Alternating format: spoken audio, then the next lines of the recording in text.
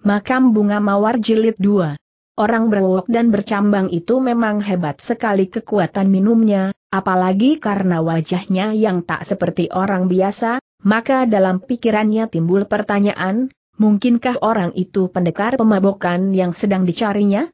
Ia semakin berpikir, wajah orang itu semakin mirip dengan bayangan dalam otaknya, Akhirnya Oa tidak dapat mengendalikan perasaannya sendiri lalu bangkit dari tempat duduknya dan berjalan menghampiri orang itu. Sesaat itu tampak olehnya bahwa di samping tangan tetamu berbaju kuning itu, ada sebuah kipas yang terbuat dari bambu, maka lalu menghampirinya dan berkata kepadanya, Cuan ini sangat menarik hati, terutama kipasmu ini, nampaknya sangat indah sekali, bolehkah kiranya ku pinjam sebentar untuk melihatnya? Tetamu berwok berbaju kuning itu mendelikan matanya yang aneh, kemudian baru berkata, Anak muda, kalau bicara, semakin terus terang semakin baik. Kau hendak melihat kipasku, kan boleh ambil saja, sikapmu begini ini sesungguhnya sangat menjemukan.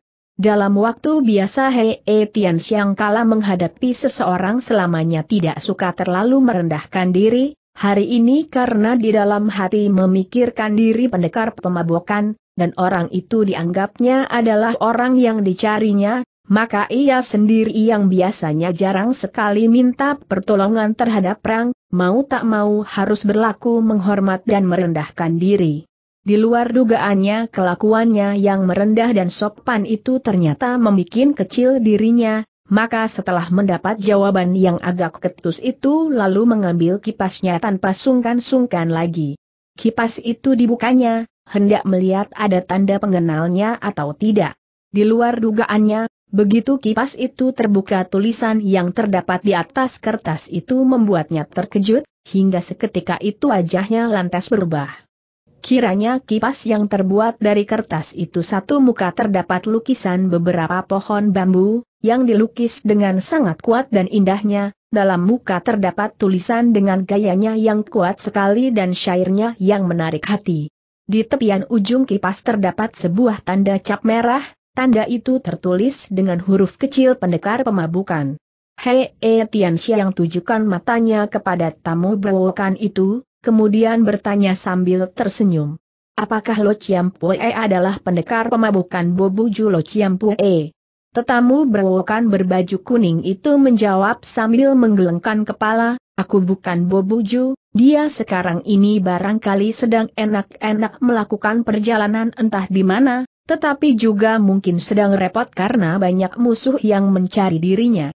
Hei Tianxia yang semula masih mengira bahwa orang aneh itu sengaja menyangkal, baru saja menunjuk tanda cap kecil warna merah itu, orang berewokan itu sudah mendelikan matanya lagi dan berkata dengan nada suara dingin. Bocah, mengapa kau begitu ceriwis? Ini toh bukan cap tanda namaku, tanda lambangku itu hanya beberapa batang bambu yang di lain muka itu. Hei Tian Xiang kini baru tahu bahwa tulisan di atas kipas itu meskipun tulisannya pendekar pemabokan Bobuju, tetapi lukisan bambu di lain muka justru dilukis sendiri oleh laki-laki berwok itu. Ketika ia membalikan kipas dan melihatnya lagi, ternyata di bawah lukisan itu terdapat cap huruf kecil, tulisan itu berbunyi rajin mengurusi orang lain, di baris lainnya maksudnya kira-kira sinting tetap sinting. Hei Tianxia yang tidak mengerti apa maksudnya dua baris huruf dan tanda-tanda itu?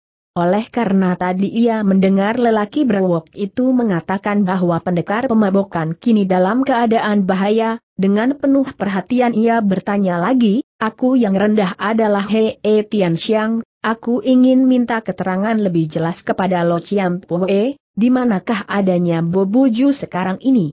Hektometer, Bobuju itu kecuali matanya yang lebar, perutnya yang besar, gemar minum arak, suka bicara, selain daripada itu tidak ada kepandaian lainnya lagi, apa maksudnya kau mencari dia? Kesatu, karena Bo Ampoe sangat kagum kepada orangnya, dan ingin minta sedikit keterangan.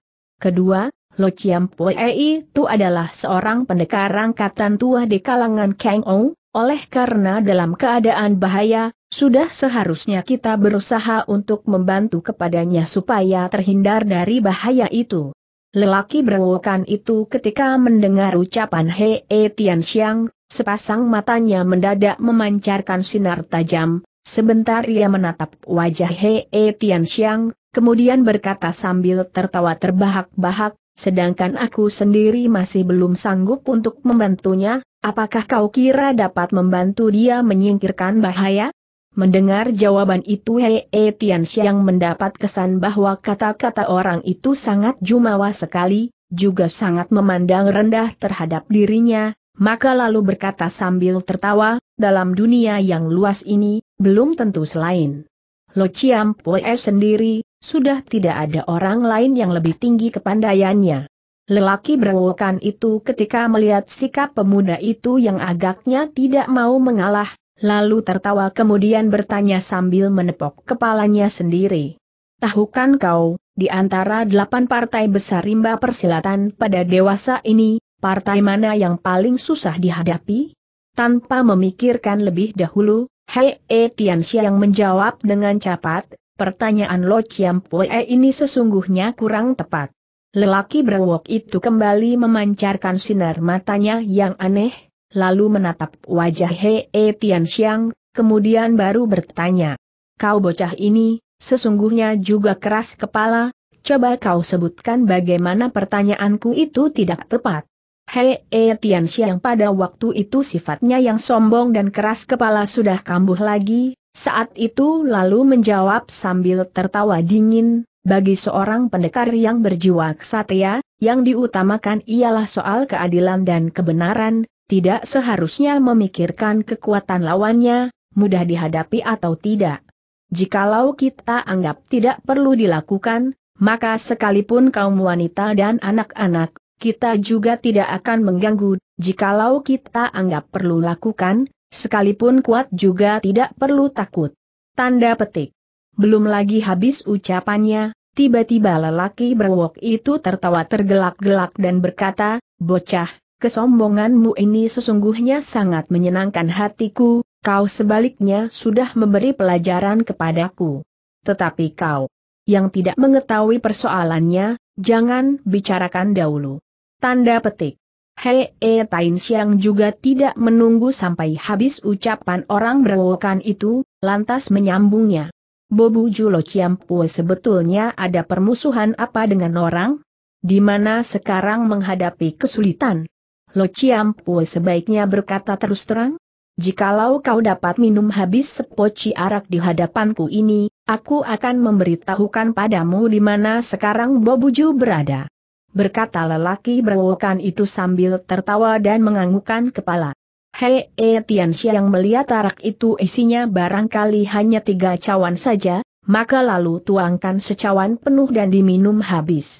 Tidak ia duga bahwa sifat arak itu sesungguhnya keras sekali, itu merupakan arak keras yang ia belum pernah minum pada waktu sebelumnya, ditambah lagi karena menuruti perasaan hati, hingga ia minum secara terburu-buru tanpa dipikir, apalagi ia tadi sudah banyak minum dengan HWA Jiset, maka baru secawan masuk ke dalam perutnya, ia sudah merasa seperti mabok tetapi karena ingin sekali mengetahui persoalan permusuhan pendekar pemabokan, maka ia paksakan diri meminum habis tiga cawan arak itu. Ketika cawan ketiga masuk ke dalam tenggorokannya, kepalanya sudah dirasakan pening, ketika ia meletakkan cawan di atas meja, matanya hanya terbuka lebar, karena lelaki berewokan berbaju kuning tadi sudah menghilang seperti setan, hanya tinggal kipasnya dan sepotong uang perak yang masih ditinggalkan di atas meja. Di belakang rumah minum itu, terdapat sebuah sungai, Hei Tian yang setelah diam sejenak ia tonjolkan kepala melalui jendela, betul saja segera tampak olehnya lelaki berwokan berbaju kuning tadi, bayangannya sudah berada di suatu tempat sejarak 30 tombak lebih bahkan agaknya sedang melambaikan tangan terhadap dirinya. Hei Tianxia yang sejak meninggalkan gurunya secara diam-diam, belum pernah bertemu dengan orang rimba persilatan yang pandai meringankan tubuh demikian hebat, sehingga saat itu ia berdiri terpaku dengan sangat kagumnya. Ia tahu bahwa sepotong uang perak itu, pasti ditinggalkan untuk membayar araknya, sedangkan kipas itu tentunya ditinggalkan untuk dirinya, maka kipas itu lalu diambilnya, kemudian juga lompat melesat melalui lubang jendela itu, setelah itu ia mengerahkan ilmunya peringankan tubuh, lari mengejar bayangan orang itu tadi. Tetapi ketika masih terpisah sejarak kira-kira sepuluh tombak dengan orang itu tadi, matanya dapat menyaksikan bahwa orang berwuk berbaju kuning tadi, tubuhnya sudah melesat sejauh lima enam tombak lagi, Orang itu melayang turun ke dalam sungai dengan ilmunya meringankan tubuh yang luar biasa, ternyata berhasil menyeberangi sungai dengan menginjakan kakinya di atas air. Hei Tian Xiang yang menyaksikan kejadian itu semakin kagum. Ilmunya meringankan tubuh orang itu, ia tahu bahwa ia sendiri tentu tidak berhasil mengejarnya, terpaksa berdiri di tepi sungai dengan mulut menganga memandang berlalunya orang tadi, dari jauh samar-samar ia dengar orang tadi mengeluarkan suara nyanyian dari mulutnya. Nyanyian yang keluar dari mulut orang tadi adalah sebuah syair dari Pujanggali Gie Sadi Jamantong. Ia tahu bahwa orang tadi menyanyikan syair tersebut, pasti mengandung maksud dalam, tetapi sesaat itu bagaimana Izada kesempatan untuk mempelajari arti dan maksud orang tadi?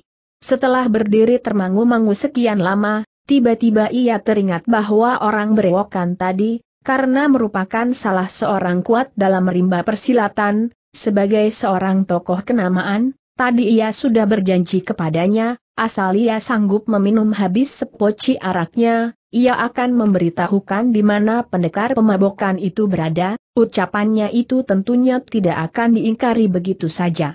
Oleh karena berpikir demikian, maka ia segera berjalan menuju ke tepi sungai di mana orang tadi pernah berlalu, mungkin di situ ada peninggalan tulisan olehnya.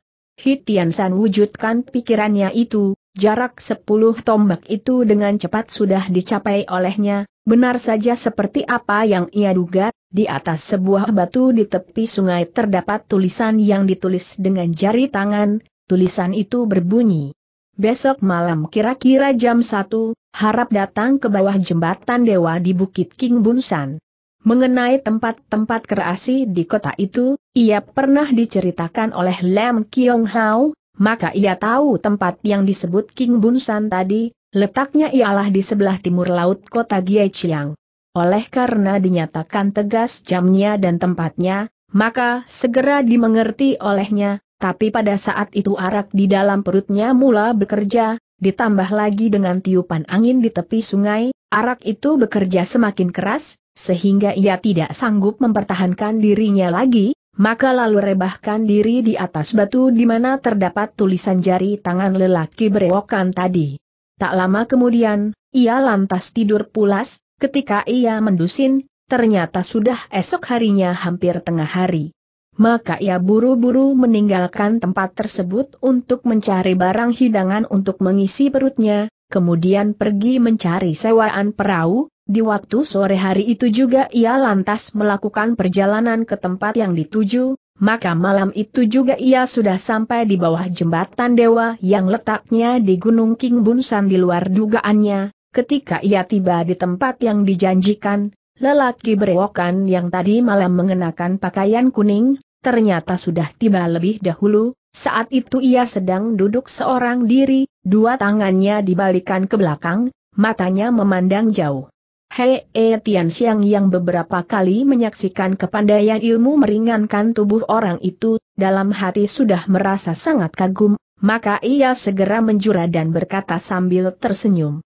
Kepandaian ilmu meringankan tubuh Lo Chiam Pue benar-benar merupakan seorang yang sukar dicari tandingannya. Tanda petik. Belum lagi habis ucapannya, orang aneh itu sudah menatapnya dan berkata sambil tertawa, sambil menggelengkan kepala, bocah, kau jangan pura-pura berlaku menghormat kepadaku, asal-usulmu ini sangat aneh, kau murid Tian Gwe Aceng Mo Tiong San Song, ataukah muridnya Pak Bin Sin Pohang Poh Cui?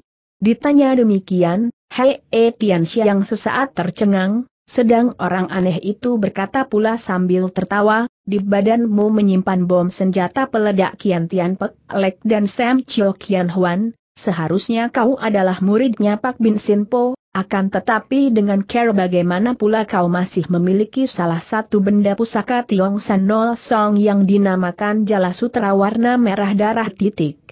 Tanda petik.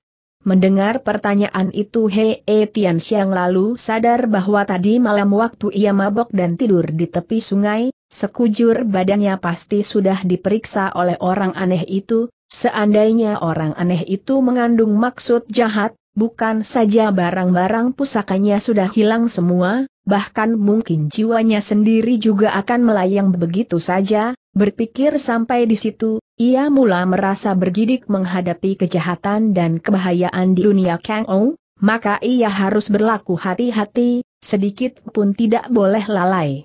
Sementara itu orang aneh itu sudah melanjutkan kata-katanya lagi sambil tertawa. Dalam badanmu kecuali dua macam benda pusaka yang berlainan asalnya, yang lebih mengejutkan aku ternyata masih ada sebuah benda yang jauh lebih berharga daripada senjata Kiantain Pelek dan Jala Merah Darah itu. Hei Tian yang semula tidak mengerti, tetapi setelah berpikir sejenak, lalu tersadar, maka ia lantas bertanya sambil tersenyum. Yang Lo Chiampua maksudkan apakah sebuah lambang kepercayaan bunga mawar yang terbuat dari batu giok warna ungu itu? Orang aneh berbaju kuning itu kembali dengan sinar mata, tajam menatap Hei Tianxia yang sekian lama, kemudian berkata lambat-lambat sambil menganggukkan kepala. Lambang bunga mawar ungu, senjata peledak, dan jala sutra warna merah, ditambah lagi dengan kipas bambu pemberianku tadi, kau sesungguhnya satu-satunya orang yang paling beruntung, dengan seorang diri kau memiliki empat benda pusaka yang jarang ada di rimba persilatan, hal ini sesungguhnya merupakan suatu kejadian yang belum pernah terjadi sebelumnya. Sekalipun ketua-ketua delapan partai besar rimba persilatan dewasa ini, jikalau ketemu padamu, mereka juga akan perlakukan kau dengan sangat hormat tidak berani berlaku congkak.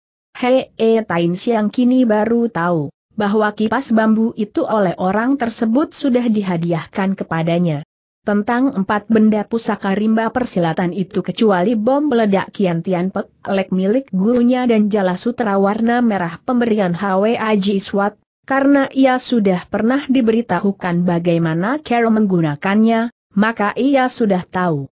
Hanya kipas pemberian ornak aneh itu dan lambang bunga mawar warna ungu yang dipuji sangat tinggi oleh orang aneh itu, bagaimana Carol menggunakannya, ia sedikit pun tidak mengerti.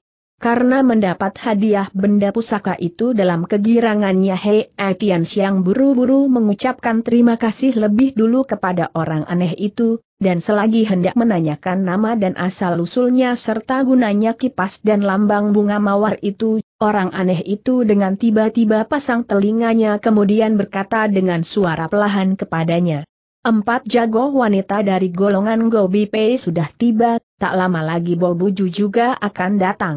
Oleh karena sesuatu sebab aku perlu menyingkir lebih dahulu, kau boleh sembunyi di atas pohon cemara besar yang daunnya rindang itu untuk menyaksikan keramaian.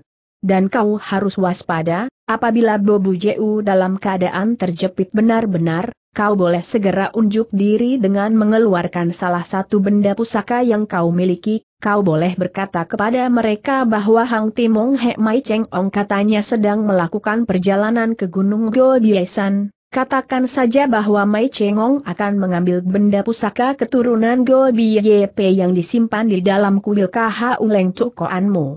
Benda pusaka itu adalah kitab ilmu pedang Tuan Hiam Kiam Fo. Barangkali saja dengan ucapanmu itu, kau dapat menolong Bobuju dari kesulitannya tanda tanya.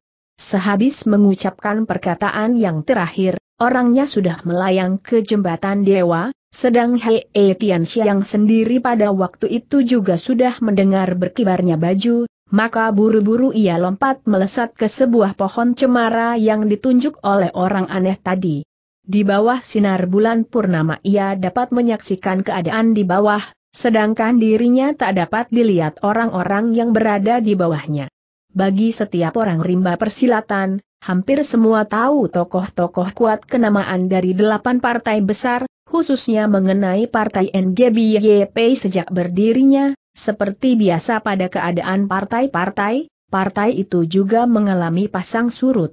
Selama itu baru sekarang inilah partai itu mulai menanjak lagi pamernya.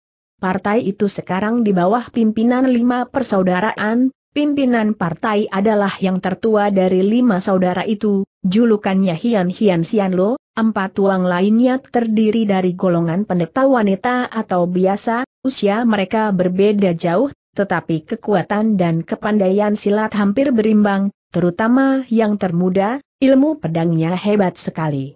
Dalam kalangan Kang Ou empat persaudaraan kaum wanita itu merupakan empat jago wanita golongan Godie. Ilmu silat mereka yang berwujud barisan yang dinamakan Sus Yang Tui Hun Kiam Tin, sejak diciptakannya jarang sekali menemukan tandingan.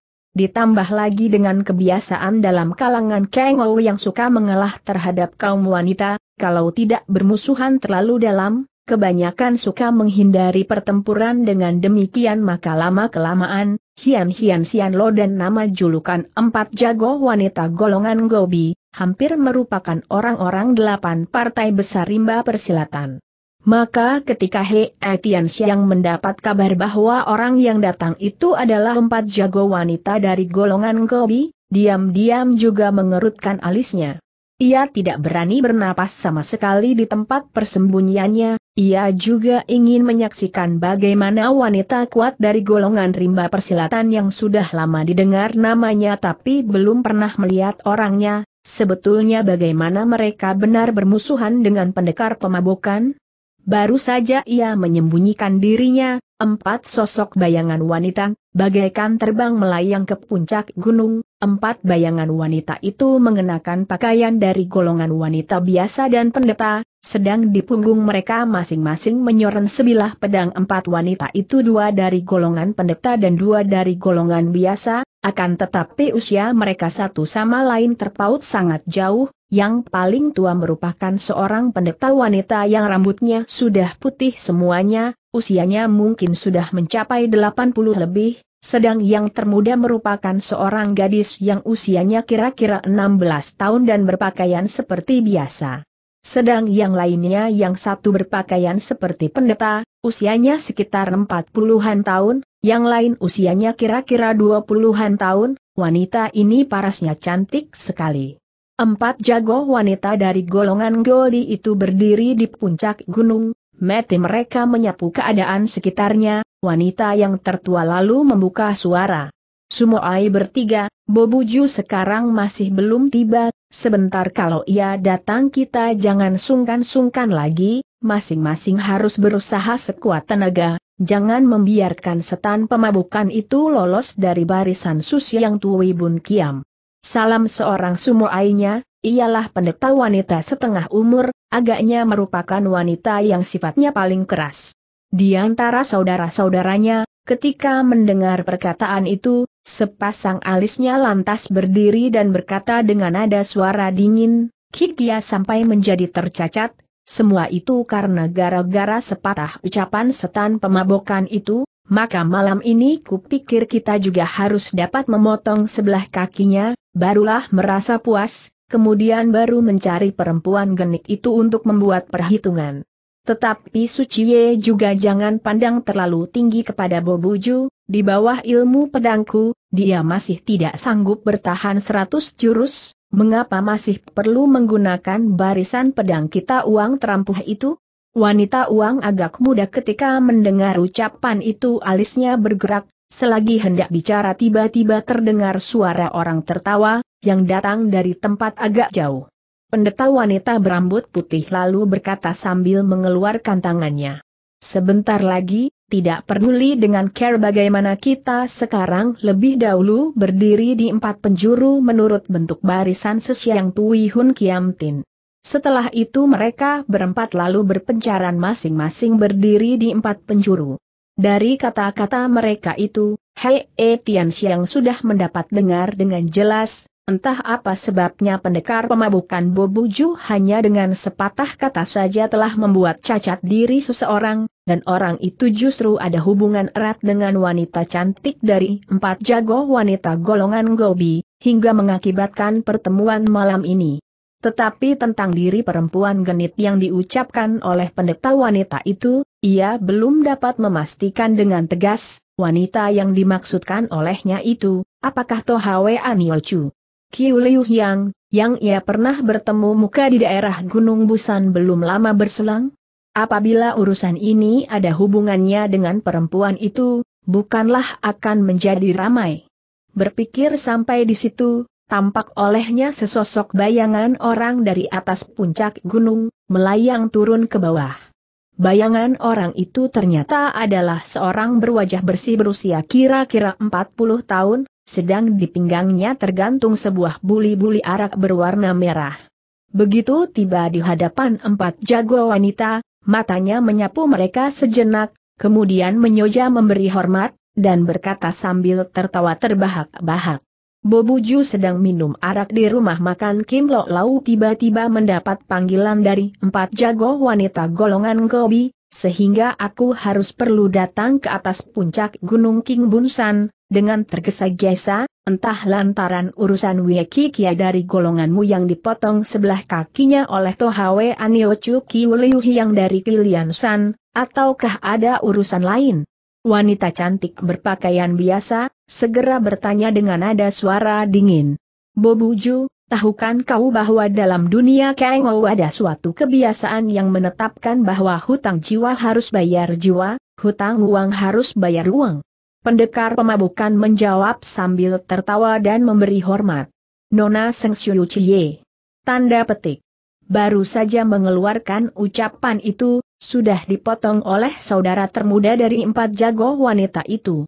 Bobuju, kau juga terhitung seorang kesatria pada dewasa ini, mengapa kau tidak tahu tentang kebiasaan dalam dunia Kengou itu? Apakah kau perlu menunggu aku Kosyuin ini turun tangan dulu barulah menyerahkan sebelah paha kananmu?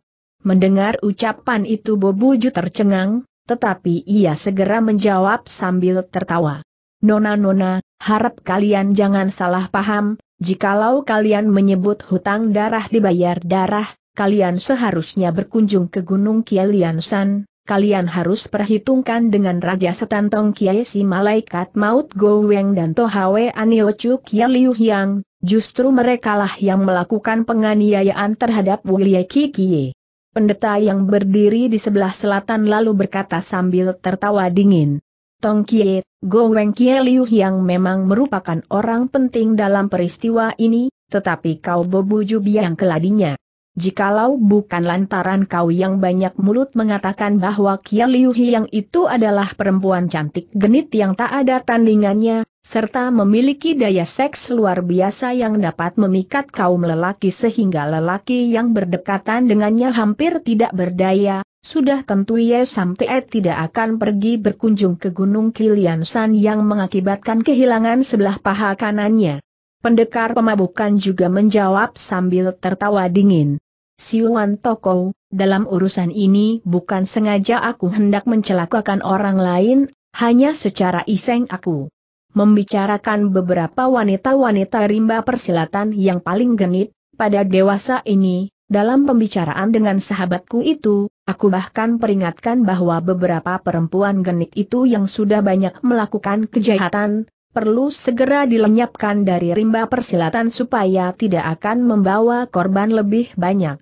Waktu itu Yeki Kie yang sedang mendengarkan pembicaraan tersebut tiba-tiba timbul pikirannya ingin belajar kenal dengan perempuan genit itu, barulah ia melakukan perjalanan jauh ke Gunung Kilian San, jadi dalam hal ini adalah ia sendiri yang mencari penyakit. Tanda petik. Belum habis ucapannya, Seng Xiu Chie yang cantik itu, dengan cepat menghunus pedangnya, dan berkata sambil menudingkan pedangnya. Bobuju kau jangan menuduh orang sembarangan. Suamiku itu bukanlah orang sebangsa hidung belang, dia pergi ke Gunung Kilian San maksudnya ialah hendak menyingkirkan perempuan genit itu, bukanlah karena tertarik oleh kecantikan atau kegenitannya, sebelah kaki kanannya, karena ucapanmu itu sehingga harus dikorbankan. Malam ini jikalau kau tidak membayar hutang dengan memotong sendiri pahamu, lekas hunus pedangmu, sambutlah pedang golongan gobi sampai seratus jurus. Bobu Ju yang mempunyai pengalaman sangat luas dalam dunia Kang Ou sudah tentu mengetahui bahwa empat jago wanita dari golongan Goldie itu semuanya memiliki sifat sombong dan keras kepala, maka urusan malam ini tentu tidak dapat diselesaikan dengan baik, ia terpaksa berkata sambil tertawa terbahak-bahak.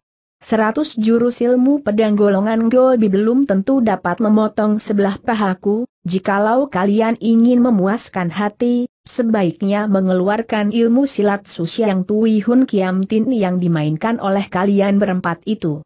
Seng Siu Chie yang mendengar perkataan itu semakin marah, hingga wajahnya pucat pasi, ia berpaling dan berkata kepada pendeta wanita rambut putih yang merupakan toa sucinya suci, dalam seratus jurus apabila Sumoai tidak berhasil memotong sebelah paha Bobuju aku nanti akan habiskan jiwaku sendiri dengan melompat ke dalam sungai Tiangkang dari puncak gunung ini, kau dengan Sam Suci dan Xiao Suci cukup menjaga saja dengan sampai orang ini melarikan diri, jangan sekali-kali kau menjadi buah tertawaannya karena mengandalkan jumlah orangnya yang banyak, sehingga merendahkan derajat Gobi Pei.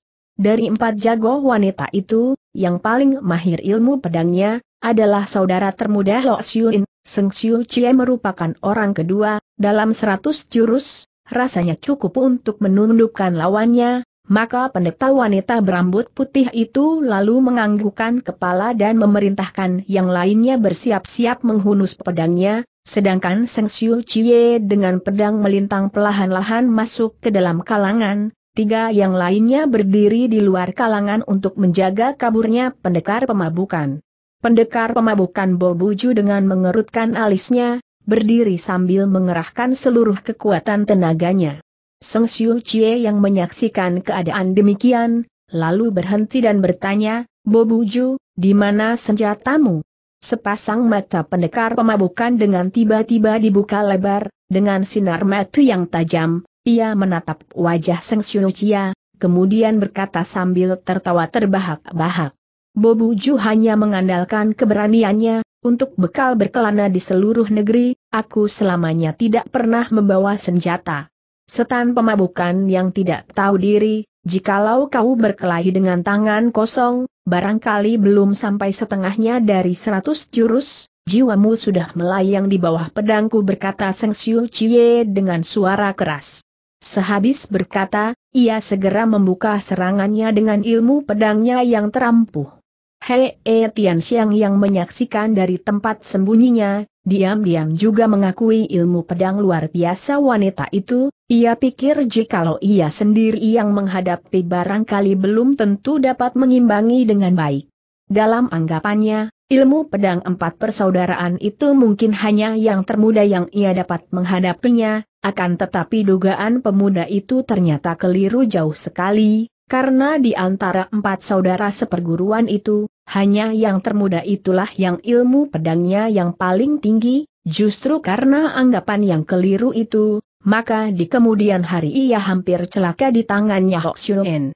Pendekar pemabukan tahu benar bahwa sendiri barangkali belum sanggup melawan si Xiu Chie yang memiliki ilmu pedang sangat tinggi itu, akan tetapi karena urusan sudah berubah begitu rupa, mau tak mau ia harus menghadapinya dengan seluruh kekuatan yang ada.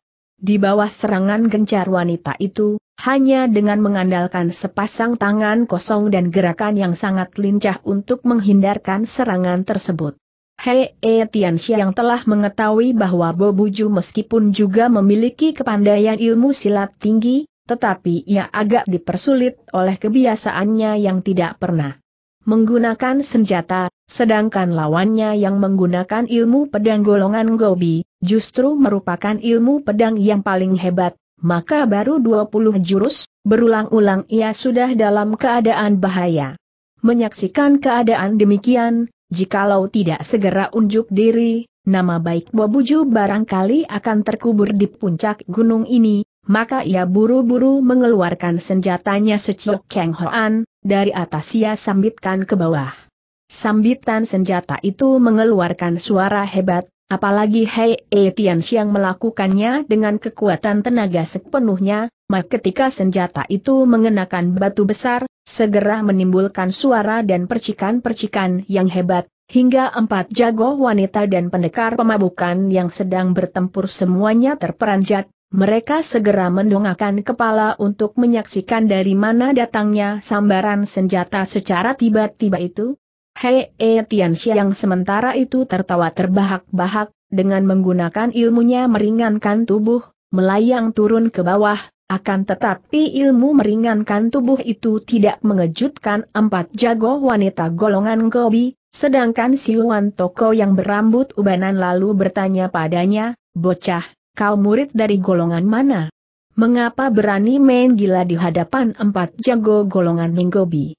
Hei Etia Siang yang dengan seorang diri menghadapi empat jago golongan Gobi, namun sikapnya masih tetap tenang, ia menjawab sambil tertawa kalian mengadakan pertempuran di tempat ini, sebetulnya tidak ada hubungan denganku, tetapi empat orang menggunakan pedang sedang seorang hanya dengan tangan kosong, pertempuran semacam ini sesungguhnya tidak adil sekali, sehingga aku yang menyaksikan juga merasa tidak puas. Dengan demikian maka aku hendak meminjamkan senjataku ini kepada Lo Chiampo yang namanya terkenal karena kegemarannya minum arak. Tentang diriku dari golongan mana dan murid siapa, kalian yang menganggap diri tokoh-tokoh terkuat timba persilatan, apakah tidak bisa mengenal diriku dari sepasang senjata gelangku ini? Keberanian dan kejumawaan pemuda yang baru muncul itu, seorang beradat aneh seperti pendekar pemabukan itu diam-diam juga merasa heran, tetapi ia adalah seorang berpengalaman luas, ketika menyaksikan sepasang senjata Sam Chiok Kang Hwan yang menancap dalam batu besar, tanpa sadar sudah mengeluarkan seruan tertahan, dan ia sudah mengetahui bahwa pemuda berbaju hijau yang berani sekali itu, adalah murid Pak Bing Siapo Hang Poh Cui merupakan satu dari tiga orang yang terkuat paling susah dihadapi di rimba persilatan. Oleh karena empat jago wanita dari golongan Gobi itu, biasanya pandang dirinya sendiri terlalu tinggi, kecuali para ketua partai rimba persilatan yang lainnya, atau tokoh-tokoh kenamaan, hampir semuanya tidak dipandang mata oleh mereka. Maka empat wanita itu hanya mengawasi senjata Sam Chiok Kang Hwan, namun sedikit pun tidak mengetahui asal-usulnya. Sedangkan Hok Siu In yang merupakan jago termuda dari yang lainnya, sebaliknya malah perdengarkan suara tertawa dingin dan kemudian berkata, Sepasang gelang berbentuk aneh yang dibuat olehnya sendiri, paling banter dibuat dari bahan baja, apa yang diherankan titik. Tanda petik. Hei Etians yang mendelikan matanya, dengan sinar mata yang tajam menatap wajah gadis itu, kemudian berkata sambil tertawa bergelak-gelak. Kau sendiri yang berpengetahuan kurang dan bermata picak terlalu berniat pandang rendah orang lain. Beranikah? Kau bertempur seratus jurus dengan sepasang senjataku yang tidak ada asal-usulnya dan tidak ada namanya ini. Sepasang alis Hok Siu Ing berdiri, dengan sikap menghina ia berkata, Kau seorang yang belum mempunyai nama juga berani melawan aku sampai seratus jurus? Barangkali belum sampai sepuluh jurus perutmu sudah berlubang atau kepalamu menggelinding di tanah. Mendengar kata-kata yang sangat jumawa itu, Hei Etian Xiang sangat marah, ia berkata, Jangankan kau seorang perempuan yang masih begini muda, sekalipun barisan Susya yang Tui Hun Kiam Tin yang kalian banggakan itu, aku juga dapat menghancurkan dengan satu gerakan tangan saja. Hok Siu In yang mendengarkan itu berulang-ulang memperdengarkan suara tertawa dingin, sedang pedang di tangannya beberapa kali digerakkan, agaknya sudah hendak turun tangan. Pendekar pemabukan karena sudah mengetahui asal-usul Hei Tian Xiang, ia khawatir apabila kedua pihak benar-benar terjadi pertempuran dan masing-masing turun tangan ganas, barangkali seluruh rimba persilatan nanti akan mengalami kegegeran hebat, maka buru-buru ia menggoyangkan tangan dan berkata kepada Hok Xiuen, Nona Hok, aku dengan saudara kecil ini meskipun belum pernah kenal, tetapi aku tahu apa yang dikatakan tadi, sedikit pun bukan ucapan gertakan saja. Siuan Toko yang merupakan orang kedua dari empat jago wanita itu juga berkata, Bobuju, di dalam rimba persilatan, kau juga terhitung orang yang mempunyai nama baik, bagaimana kau juga membantu seorang bocah yang masih ingusan, mengeluarkan perkataan yang susah dipercaya orang ini. Dengan cara bagaimana ia dapat menghancurkan barisan kita dengan satu gerakan tangan saja? Sikap pendekar pemabukan itu kini nampak semakin tenang, ia lalu mengangkat buli-buli araknya dan minum dua cegukan, dengan mata menatap Siuan Toko, ia berkata sambil memalingkan kepala.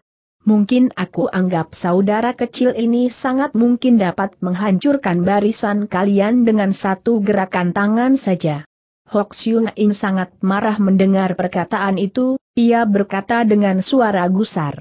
Coba kau katakan, Jikalau kau tidak dapat memberikan keterangan sebab apa ia dapat menghancurkan barisan kita dengan satu gerakan tangan, aku nanti akan suruh kalian bersama-sama merasakan rasanya tercincang dalam barisan susi yang Tui Hun Kiam Tin ini.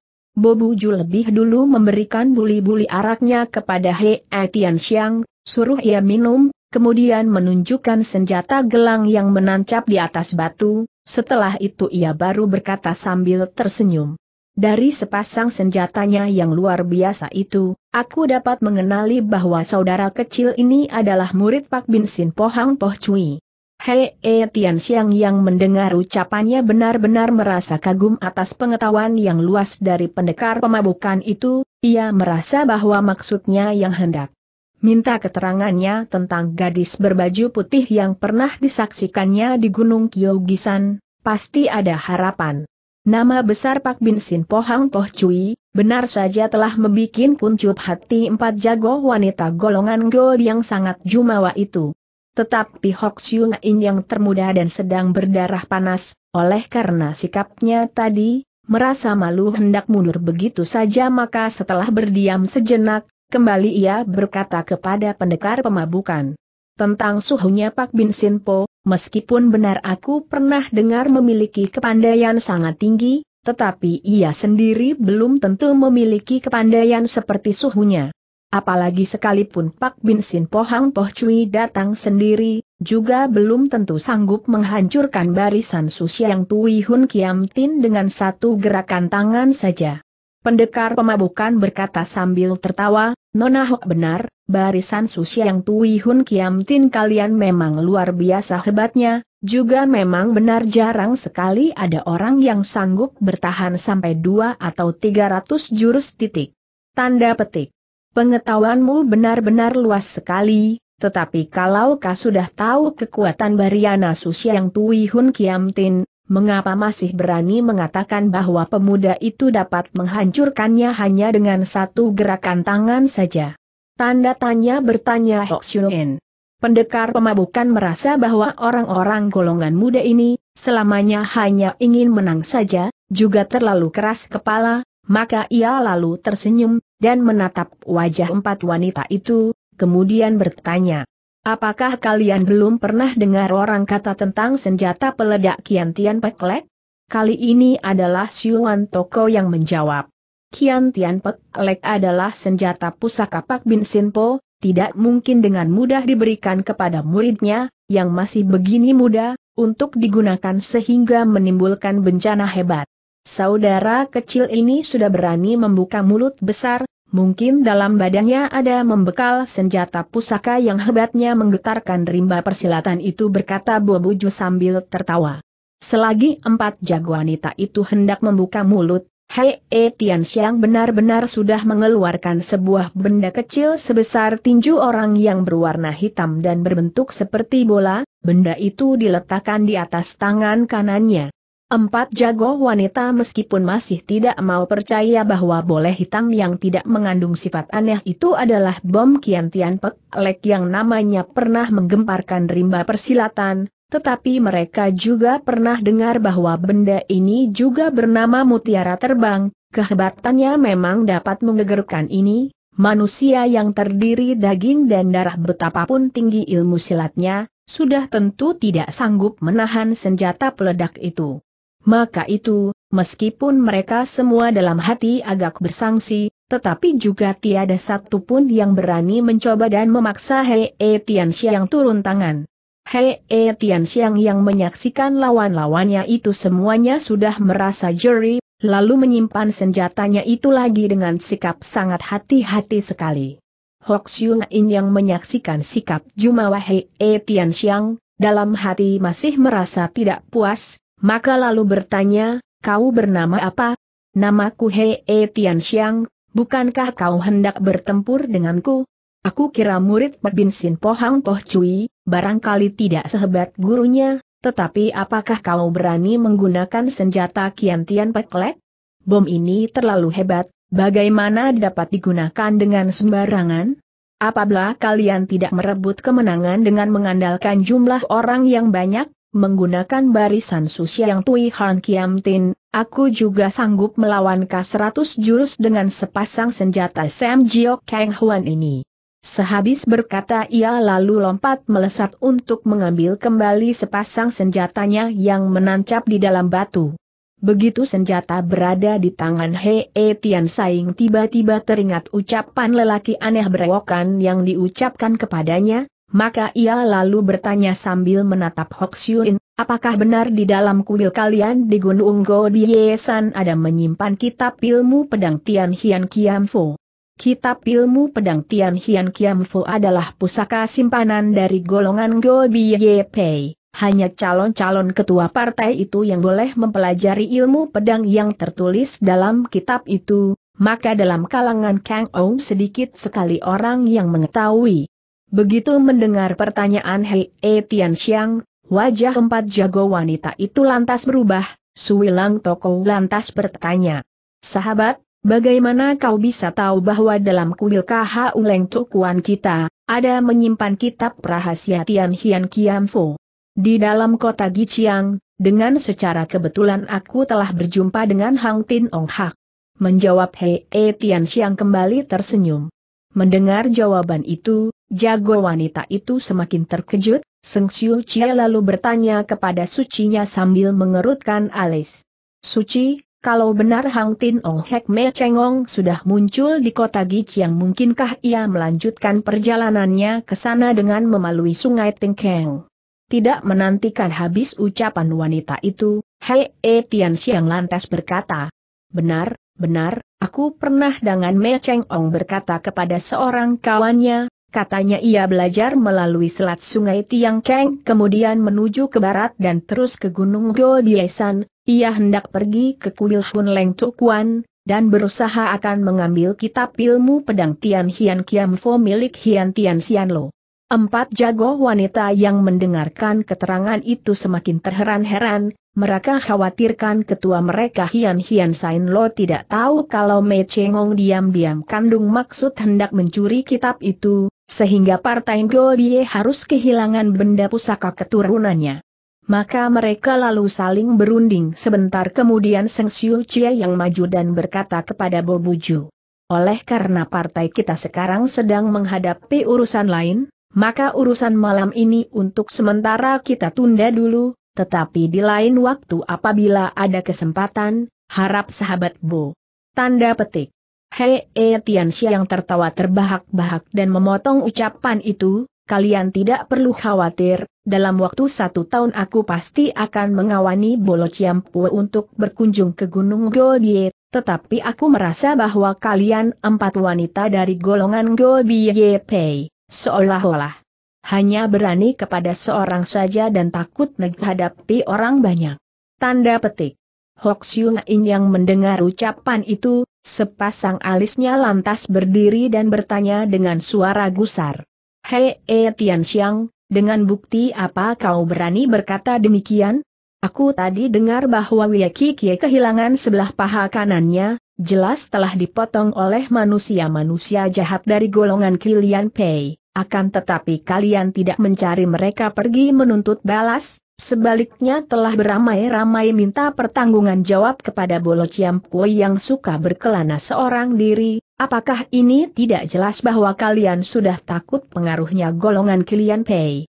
Dan tidak berani menghadapi ketua mereka Hie Tai Tiu yang menggunakan senjata berat 150 karti itu, Siulong Toko yang mendengarkan perkataan itu lalu merangkapkan kedua tangannya ke dadanya, setelah memuji nama Buddha lalu berkata, Hei E Tian Xiang, kau jangan pandang ringan ilmu pedang golongan Godie, senjata berat yang berupa tongkat baja ketua dari Ki Hian Pei itu, di dalam rimba persilatan hanya mendapat sedikit nama saja, padahal sebetulnya, tak ada apa-apanya yang patut dibanggakan.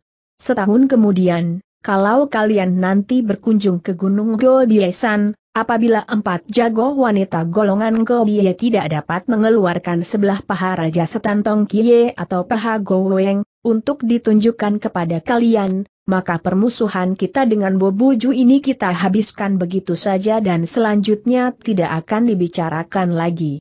Sehabis berkata demikian lalu pamitan dan bersama tiga saudara lainnya meninggalkan tempat tersebut. Di dalam keadaan sunyi hanya terdengar ucapan Hok Siung yang diucapkan dari tempat jauh, Hei E Tian Xiang, satu tahun kemudian, kalau kau nanti datang berkunjung ke Gunung Biasan, jangan lupa kau harus bertanding denganku seorang diri di atas puncak Gunung Biasan.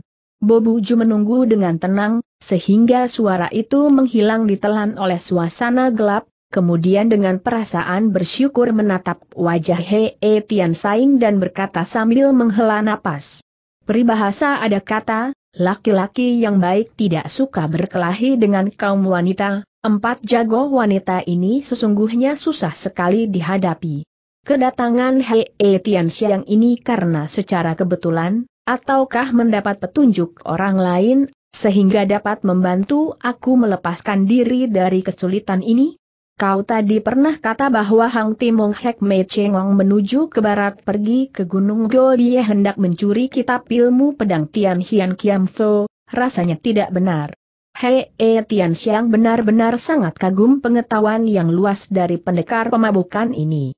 Ia lalu menceritakan semua pertemuannya dengan seorang aneh berewokan berbaju kuning di rumah minum di kota Gie Chiang, setelah itu minta keterangan kepada Bobuju tentang orang aneh berkepandaian tinggi itu, dan apakah masih hunjukkan diri untuk bertemu muka.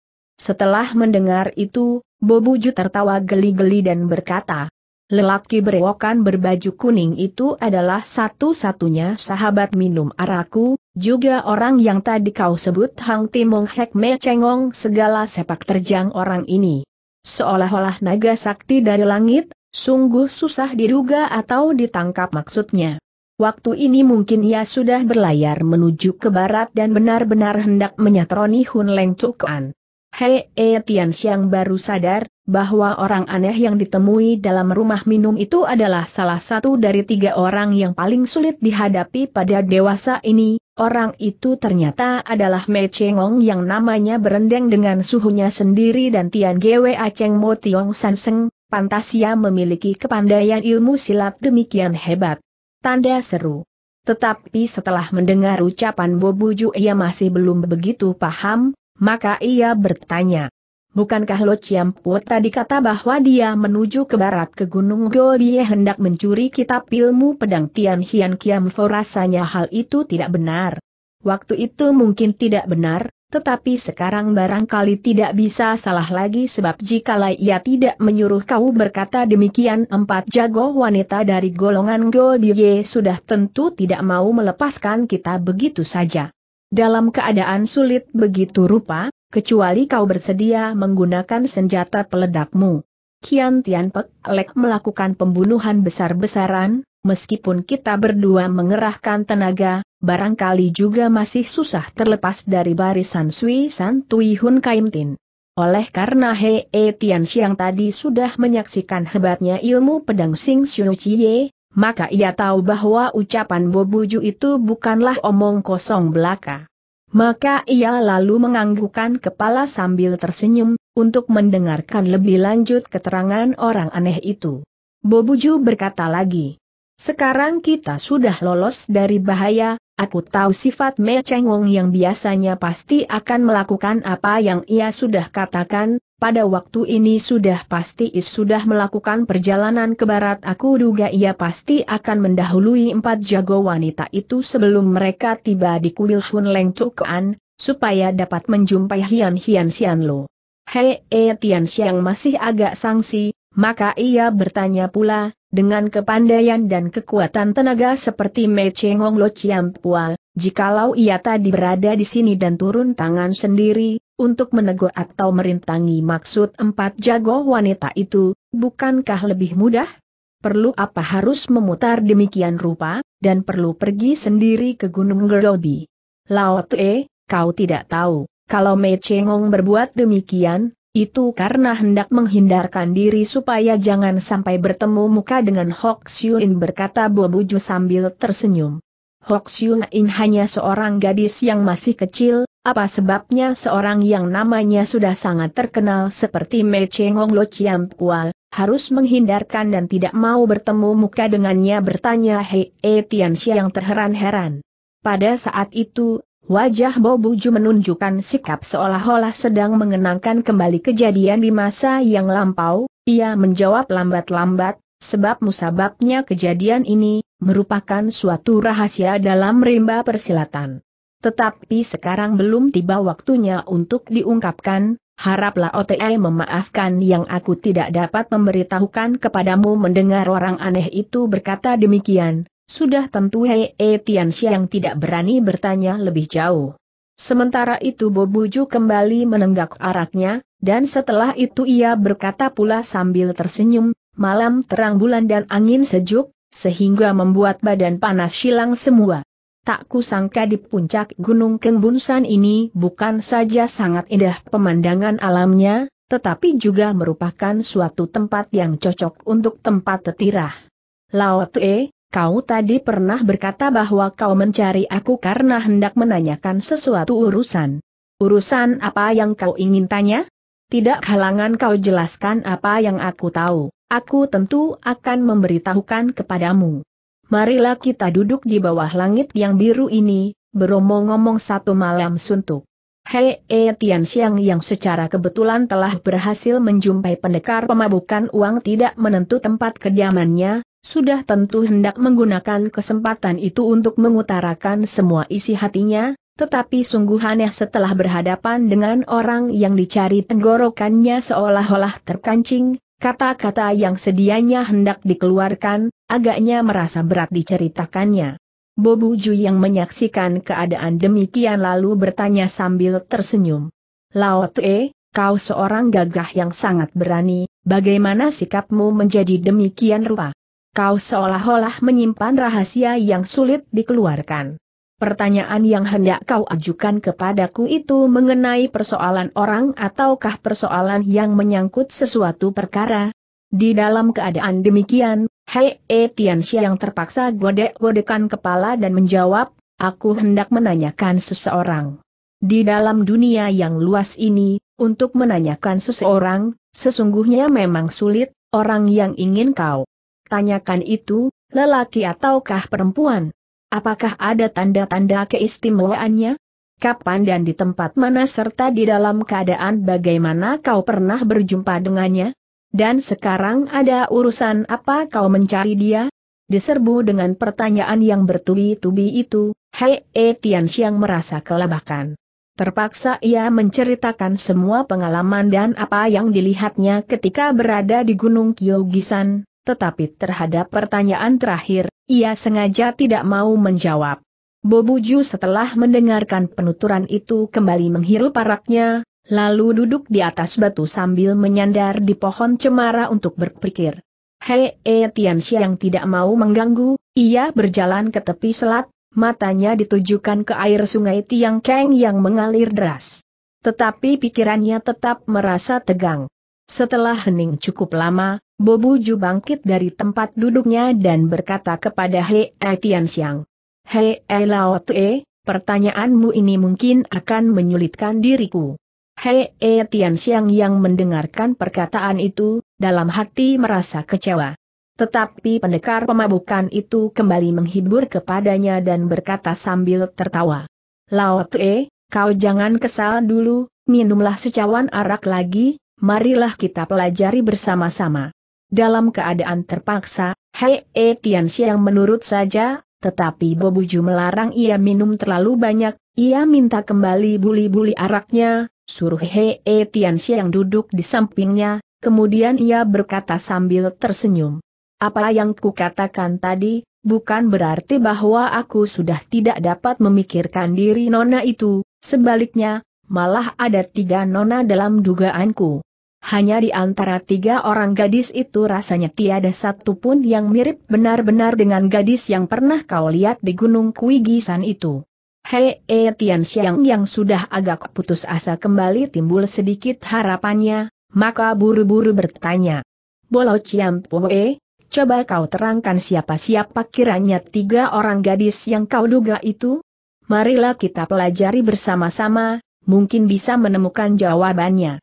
Pendekar pemabukan nampak berpikir agak lama, kemudian berkata, gadis yang berusia masih muda, mengenakan mantel warna hitam, dengan menggunakan pedang, dalam waktu sekejap mata, seorang diri telah berhasil membinasakan empat setan golongan kialian.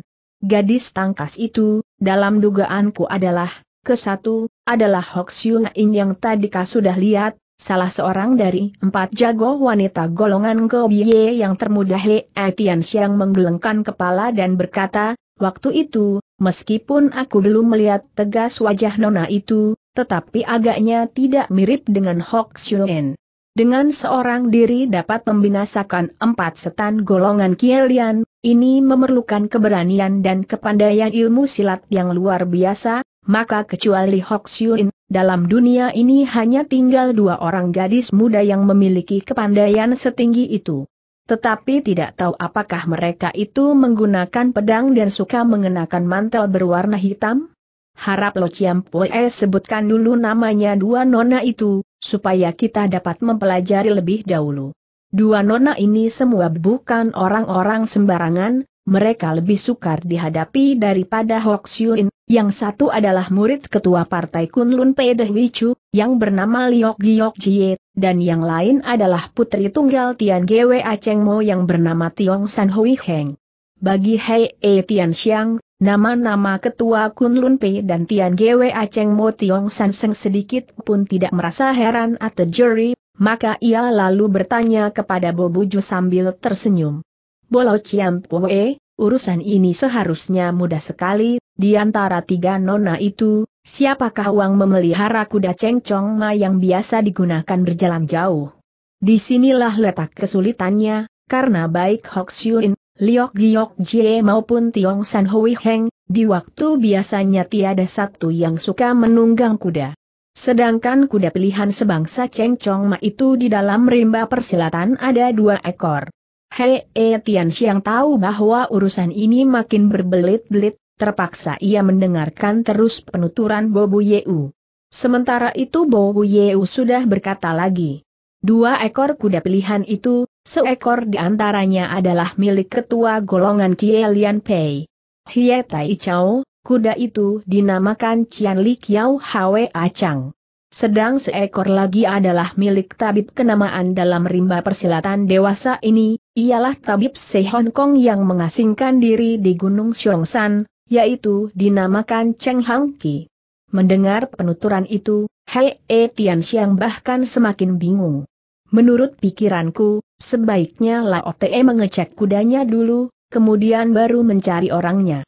Jikalau kau dapat mencari keterangan antara Hie Tai Chao dan Se Hong Kong, siapa yang pernah meminjamkan kudanya kepada seorang nona muda, melakukan perjalanan ke Provinsi Oulem, bukankah akan segera kau ketahui nama dan asal-usul nona itu? Berkata Bobu Yeu sambil tersenyum.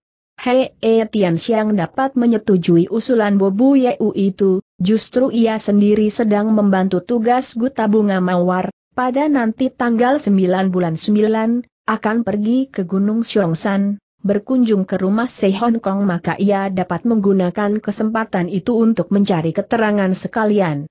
Tetapi menurut keterangan Hwe Aji Swat, It Pun Sin Cheng sudah meninggalkan kediamannya di Pulau Kura-Kura, sedang melakukan perjalanan ke seluruh negeri, hal ini merupakan suatu kesulitan lagi baginya, karena dengan care bagaimana ia baru dapat menemukan padri itu, jikalau ia tidak dapat menemukannya, sudah tentu ia tidak dapat minta getah pohon lengcie yang berumur ribuan tahun, dan jikalau tidak mendapatkan barang mukjizat itu, bagaimana harus mempertanggungjawabkan kepada duta bunga mawar?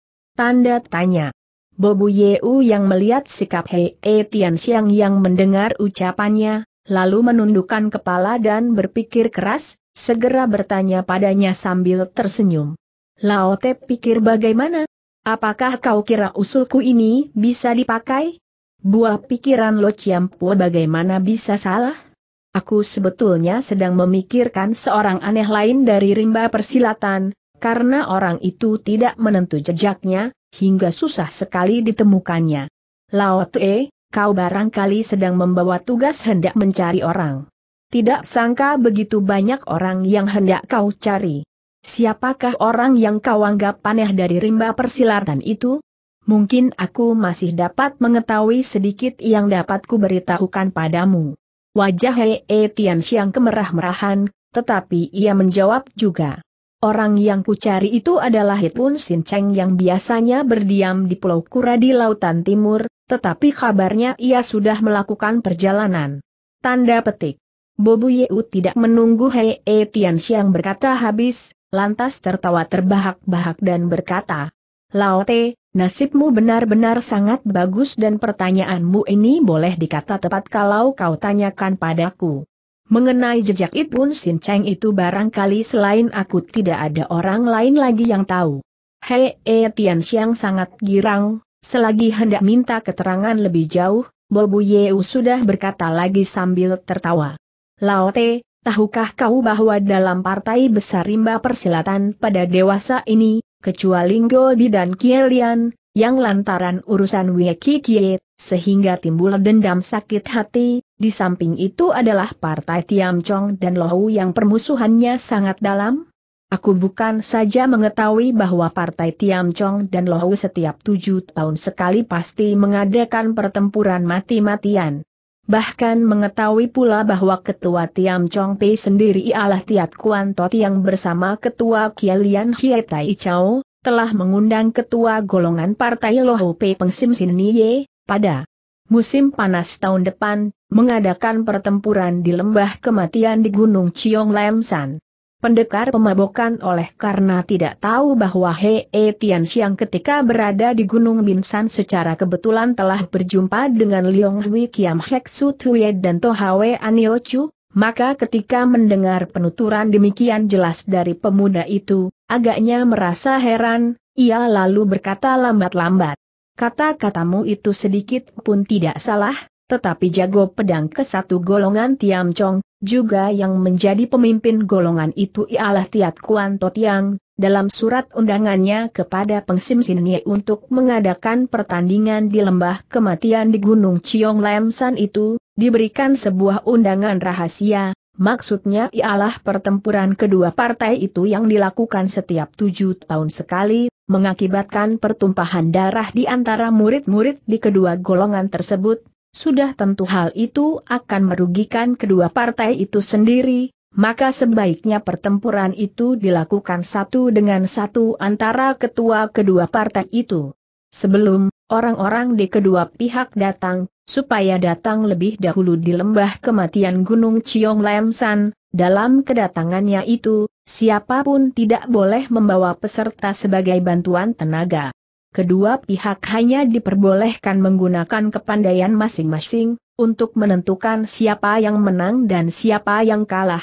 Dengan demikian mungkin dapat menghindarkan pertumpahan darah besar-besaran bagi kedua pihak. Usul Tiat Kuan Toti yang itu maksudnya baik.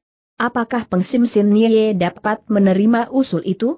Pengsim Sin Nye seorang berada tinggi dan keras kepala, setelah membaca undangan yang bersifat rahasia itu segera dapat menyetujuinya. Tetapi dengan demikian, Ketua Lohu dan Tiam Chong, setelah bersama-sama masuk ke dalam lembah kematian, paling-paling hanya tinggal satu yang bisa keluar dalam keadaan hidup, bahkan kedua-duanya mungkin akan terkubur dalam lembah itu. Hei E Tian Xiang mengerutkan alisnya, lama tidak membuka suara. Pendekar pemabokan kembali minum araknya, kemudian melanjutkan kata-katanya. Akan tetapi usul Tiat Kuan Toti yang itu entah dengan care bagaimana telah bocor. Sehingga dapat diketahui oleh sahabat karib Pengsim Sin Niye, ialah It Pun Sin Cheng. It Pun Sin Cheng lalu buru-buru meninggalkan kediamannya di Lautan Timur, sambil melakukan perjalanan ke seluruh negeri, ia akan menuju ke Gunung Chiong Lam dan bersedia akan menggunakan kekuatan dan cinta kasih golongan Buddha, untuk menghindarkan dua ketua itu dari ancaman bahaya maut. Bolo Ciampua, Tiat Kuan Totiang dan Peng Sim Sin Nie entah kapan hendak mengadakan pertemuan di lembah kematian? Mereka telah menetapkan tanggalnya, nanti tanggal 5 bulan 8. Sekarang kira-kira masih ada waktu dua bulan setengah lagi, Berkata sampai di situ ia berhenti sejenak dengan pandangan mata yang penuh perhatian ia menatap Hei Tian Xiang, kemudian dengan sikap sungguh-sungguh ia berkata pula. Meskipun aku sudah memberitahukan padamu tentang rahasia sangat besar ini, tetapi kau sekali-sekali jangan berlaku gegabah paling-paling kau boleh mondar-mandir saja di mulut lembah untuk menantikan kedatangan It Pun Sin Cheng, jangan sekali-sekali kau lantaran tertarik oleh keinginanmu hendaknya menyaksikan pertandingan itu, sehingga dengan sembrono kau memasuki lembah kematian itu. Kau harus tahu, bahwa pertempuran yang bersifat rahasia ini paling pantang dilihat orang, apalagi orang-orang yang tersangkut dalam urusan ini adalah orang-orang kenamaan dan pemimpin dari kedua partai besar. Apabila mereka marah, dalam waktu sekejap mata. Tanda petik. Maksud Lo Pua, apakah Tiat Kuan Totiang atau Pengsim Sin Niye, dalam waktu sekejap dapat membinasakan aku? Pendekar pemabokan tahu bahwa ucapannya telah menyinggung perasaan pemuda itu, maka buru-buru berkata lagi sambil tersenyum. Laote, kau jangan salah paham. Dengan dirimu yang memiliki kepandaian dari golongan Pak Bin, lagi pula dengan membawa bekal senjata Kian Tian Pek Lek, sekalipun Tiat Koan Totiang atau Pengsim Sin Niye, walaupun ketua-ketua dari dua golongan besar, juga pasti akan pandang lain terhadapmu. Maksudku tadi ialah aku khawatir pertandingan mereka yang sudah diketahui orang luar, dalam keadaan malu dan marah, dengan mudah menimbulkan keonaran dan malapetaka lebih hebat hingga semakin sulit diselesaikan. Hei Tian Xiang bangkit memberi hormat kepada Bobu Yeu seraya berkata sambil tertawa. Lo Chiam Pua tidak usah khawatir, Hei Tian Xiang juga tidak berani berlaku begitu kurang ajar terhadap dua ketua golongan rimba persilatan itu. Rasanya sudah cukup kita mengobrol, lagi pula juga sudah hampir terang tanah dan sekarang Bociampu hendak pergi ke mana lagi? Satu tahun kemudian kita masih perlu bersama-sama pergi ke Gunung Gobiet, apakah kita perlu berjanji lebih dahulu, di mana kita nanti saling bertemu? Jejakku selamanya tidak menentu, sebetulnya aku dapat mengawani kau, tetapi oleh karena urusanku sendiri masih belum selesai maka terpaksa untuk sementara kita berpisahan dahulu. Mengenai perjalanan kita ke Gunung Godiet, sebaiknya kita tetapkan pada tahun depan, hari dan tanggal seperti ini. Laote, kau boleh datang ke jurang di bawah Gunung Godiesan. Laote, aku lihat di wajahmu ada tanda suram, meskipun kau memiliki kepandaian sangat tinggi dan keberanian luar biasa, tetapi karena keberanianmu yang terlalu menonjol maka di kemudian hari meskipun besar rezekimu namun ada kemungkinan juga akan ada banyak bahaya yang selalu mau mendampingimu. Aku sebetulnya mengerti sedikit tentang ilmu melihat wajah orang, pesanku sebelum aku meninggalkan kau, harap kau jangan kecil hati. Hei Tian yang menjurah dalam-dalam, menyatakan terima kasihnya, Bobu Yeu tersenyum menyambut pemberian hormat itu, kemudian menggerakkan kakinya dan menghilang di balik pohon cemara.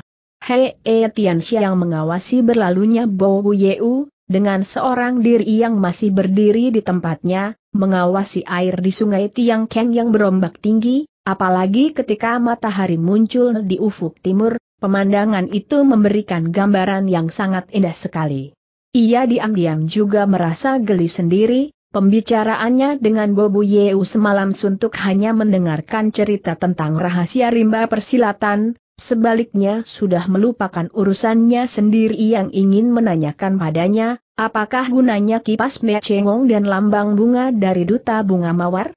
Dari situ ia hendak melakukan perjalanannya ke Gunung Chiong Lam, barulah menuju ke utara dan ke barat, dalam perjalanan itu ia harus melewati Gunung Butong San. Perjalanan itu bukanlah merupakan suatu perjalanan yang dekat. Oleh karena waktunya masih cukup, waktu melewati Gunung Butongsan, dari jauh menampak bayangan Gunung Tian Chuhang timbullah keinginannya hendak menyambangi orang-orang penting dari golongan Butong. Partai Butong merupakan partai golongan orang baik-baik di antara delapan partai besar rimba persilatan. Baik ilmu pedangnya maupun ilmu kekuatan tenaga dalamnya, semua mempunyai sifat keasliannya tersendiri. Pada waktu belakang-belakangan ini agaknya mulai sepi, jarang sekali mengadakan hubungan dengan partai-partai lainnya, juga tiada keinginan dari pihak mereka untuk berebut nama dan kedudukan, hanya tekun memperdalam ilmunya. Hei Tian Xiang yang sudah timbul pikiran itu, lalu menunjukkan kakinya mendaki gunung Tian Chu Hong.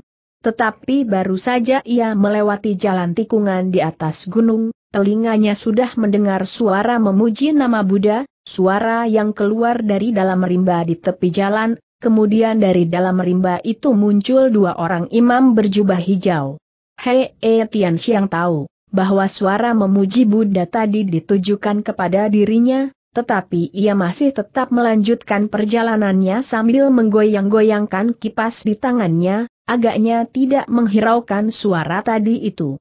Satu di antara dua imam itu, yang usianya lebih muda, lalu maju menyongsong dan berkata, harap Anda berhenti dahulu.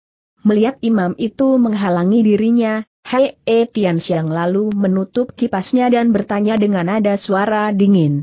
Totiang, mengapa kau merintangi perjalananku? Oleh karena dalam partai kami sedang terjadi sesuatu peristiwa, Pinto telah mendapat perintah ketua, bahwa Kuil Sam Guan Koan, dalam waktu seratus hari ini, tidak menerima kunjungan tamu. Hei Tian Xiang yang mendengar ucapan itu diam-diam merasa terkejut.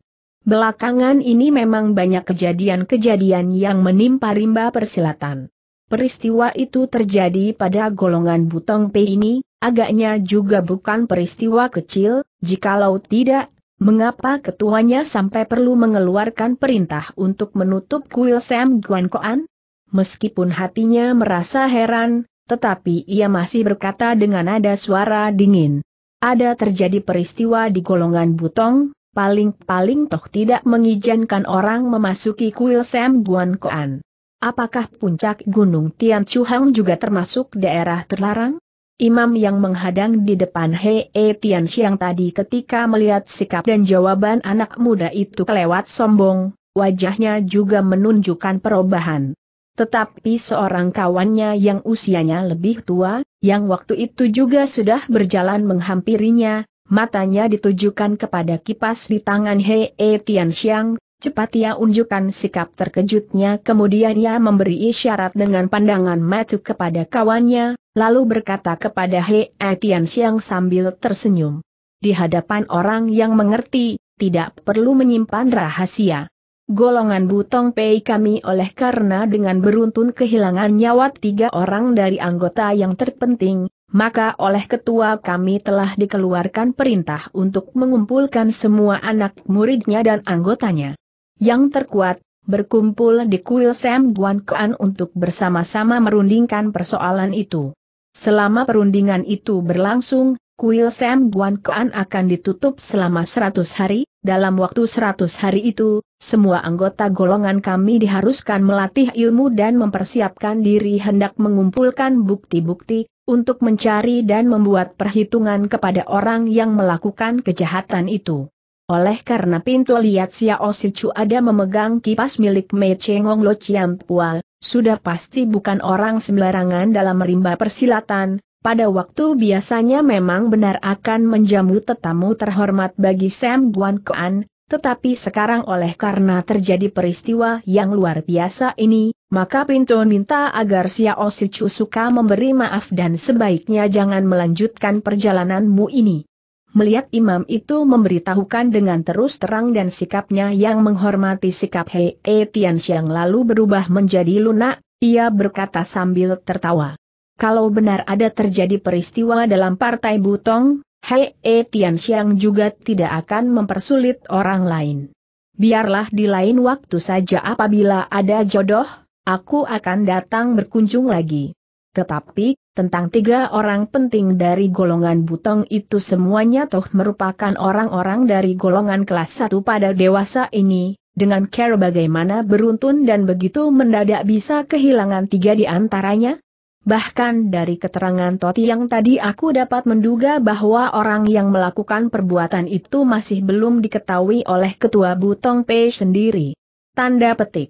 Berkata sampai di situ, Tiba-tiba ia teringat olehnya yang didengar di Gunung Busan, tetapi oleh karena kesannya terhadap Hwa Swat tidak buruk, maka ia tidak mau menerangkan, hanya berlagak tidak tahu dan bertanya pula. Di antara tiga orang penting yang tewas itu, apakah di dalamnya terdapat Litim Chu?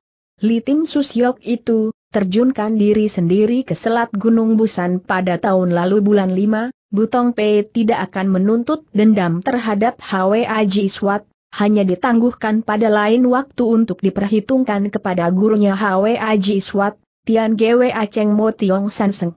Sementara itu, mengenai Tektin, Go Tim dan Ho Tim ketiga Susiok, semuanya telah terbokong orang dengan semacam senjata duri berbisa yang berwarna ungu hitam, berbentuk ujung tiga, karena dalam keadaan tiga berjaga-jaga, Ketiga Susyok itu setelah mengalami penderitaan kejang kaku sekujur badannya, lalu meninggal secara mengenaskan. Hei E Tian Xiang diam-diam berpikir, sayang Bobu Yeu tidak di sini, jikalau tidak dengan pengetahuannya yang luas, mungkin ia dapat tahu bahwa duri berbisa warna ungu hitam berujung tiga itu, senjata rahasia tunggal dari golongan mana. Tanda tanya. Baru saja berpikir demikian, di atas puncak gunung Tian Chuhang tiba-tiba terdengar beberapa kali suara benturan batu giok. Imam yang usianya lebih tua itu, ketika mendengar suara itu lalu menganggukkan kepala kepada He E Tian Xiang dan berkata padanya sambil tertawa. Pintu Ituan, telah mendapat panggilan dari Sam Guan Koan. Maaf Pintu tidak dapat mengawani Xiao Sichu lebih lama. Semoga Xiao Sichu yang berkelana di kalangan Kang Ou, diberkahi oleh Tuhan Yang Maha Esa. Hei E Tian Xiang merasa suka terhadap Huan Tojin yang ramah dan sopan santun, maka ia juga menjura dan berkata sambil tertawa. Keterangan Toti yang tadi mengenai diri Pek Tim, Go Tim dan Ho Tim tiga orang penting golongan butong yang binasa dibokong oleh orang, Hei E Tian Xiang nanti jikalau mendengar kabar, pasti akan memberitahukan kepada ketuamu di Sam Guan Koan. Setelah itu, mereka lalu berpisahan. Dengan demikian, sudah tentu Hei Tian Xiang merasa tidak enak melanjutkan perjalanannya ke puncak, maka ia terpaksa turun lagi dan melanjutkan perjalanannya yang menuju ke Gunung Chiong Lam San. Tetapi dalam hati masih diliputi berbagai pertanyaan, golongan butong yang merupakan golongan orang-orang yang beribadat dan yang selama ini tidak memikirkan untuk mencari nama dan mendapat kedudukan, entah apa sebabnya ada orang yang melakukan perbuatan keji terhadap orang-orang penting golongannya? Apakah orang yang melakukan kejahatan itu mengandung maksud, dan sengaja hendak menimbulkan kekeruhan di dalam rimba persilatan? Karena dalam otaknya diliputi berbagai pertanyaan demikian, maka sepanjang perjalanannya itu Hei Tianxia yang sengaja memperhatikan segala sesuatu yang menarik perhatiannya, tetapi cuma-cuma saja usahanya itu, karena sepanjang jalan itu tidak menemukan hal-hal yang mencurigakan dirinya, bahkan tanpa dirasa seng waktu berlalu laksana terbang, tahu-tahu sudah tiba tanggal 3 bulan 8, dan kini jejaknya sudah memasuki daerah pegunungan Chiong Lam. Dalam hati He E yang berpikir, karena lembah itu dinamakan lembah kematian, letaknya pasti di daerah pedalaman. Maka ia sengaja menjelajahi bagian-bagian yang sangat seram dan berbahaya, tetapi dua hari lamanya ia mencari, ketika pada tanggal lima tengah hari, ia masih belum menemukan tempat yang dicari. Dalam hati cemas itu ia khawatir akan menggagalkan usahanya sendiri yang hendak menjumpai Rit Pun Sin Cheng, serta hendak menyaksikan pertandingan antara Tiat Kuan Toti yang dengan Peng Sim Sin maka ia diam-diam menyesali dirinya sendiri, mengapa sebelumnya tidak tanya lebih dahulu jalan yang menuju ke lembah itu kepada Bobu Yeu. Keadaan yang dihadapinya pada waktu itu adalah, sebelah timur, selatan dan utara, semua merupakan tebing-tebing tinggi yang menjulang ke langit, sedangkan sebelah barat adalah air terjun yang sangat tinggi. Hei Tian Xiang yang menjelajahi gunung beberapa hari lamanya, pikirannya mulai risau, maka ia hendak beristirahat di tepi danau, supaya pikirannya tenang kembali. Di luar dugaannya, begitu tiba di tepi danau, tiba-tiba menemukan kejadian aneh. Di belakang air terjun itu ternyata ada sebuah goa sangat gelap, sedang luar samping mulut goa itu masing-masing terdapat sebuah lukisan. Lukisan di sebelah kiri adalah setangkai bunga dan yang liu, sedangkan sebelah kanan adalah lukisan dua buah tangan orang. Lukisan-lukisan itu bukan dilukis dengan menggunakan senjata tajam, melainkan dilukis dengan menggunakan jari tangan. Hei Tianxia yang telah menyaksikan kejadian itu, dalam hati lalu berpikir, apakah ini tanda-tanda yang dibuat oleh Tiat Kuan Totiang dan Peng Sim Sin Ye? Apakah lembah kematian itu ada di balik lubang goa yang gelap dan dalam ini? Tidak peduli benar atau tidak, apa salahnya kalau memasuki ke dalamnya untuk memeriksa sebentar? Oleh karena timbulnya pikiran itu, dan karena khawatir pula di dalam goa yang gelap dan dalam itu ada tersembunyi binatang bintang berbisa atau binatang buas, maka lebih dulu ia memusatkan kekuatan tenaga dalamnya kepada kedua tangannya. Dengan tangan kiri melindungi dadanya, tangan kanan membuka jalan, ia perlahan-lahan berjalan menuju ke mulut gua.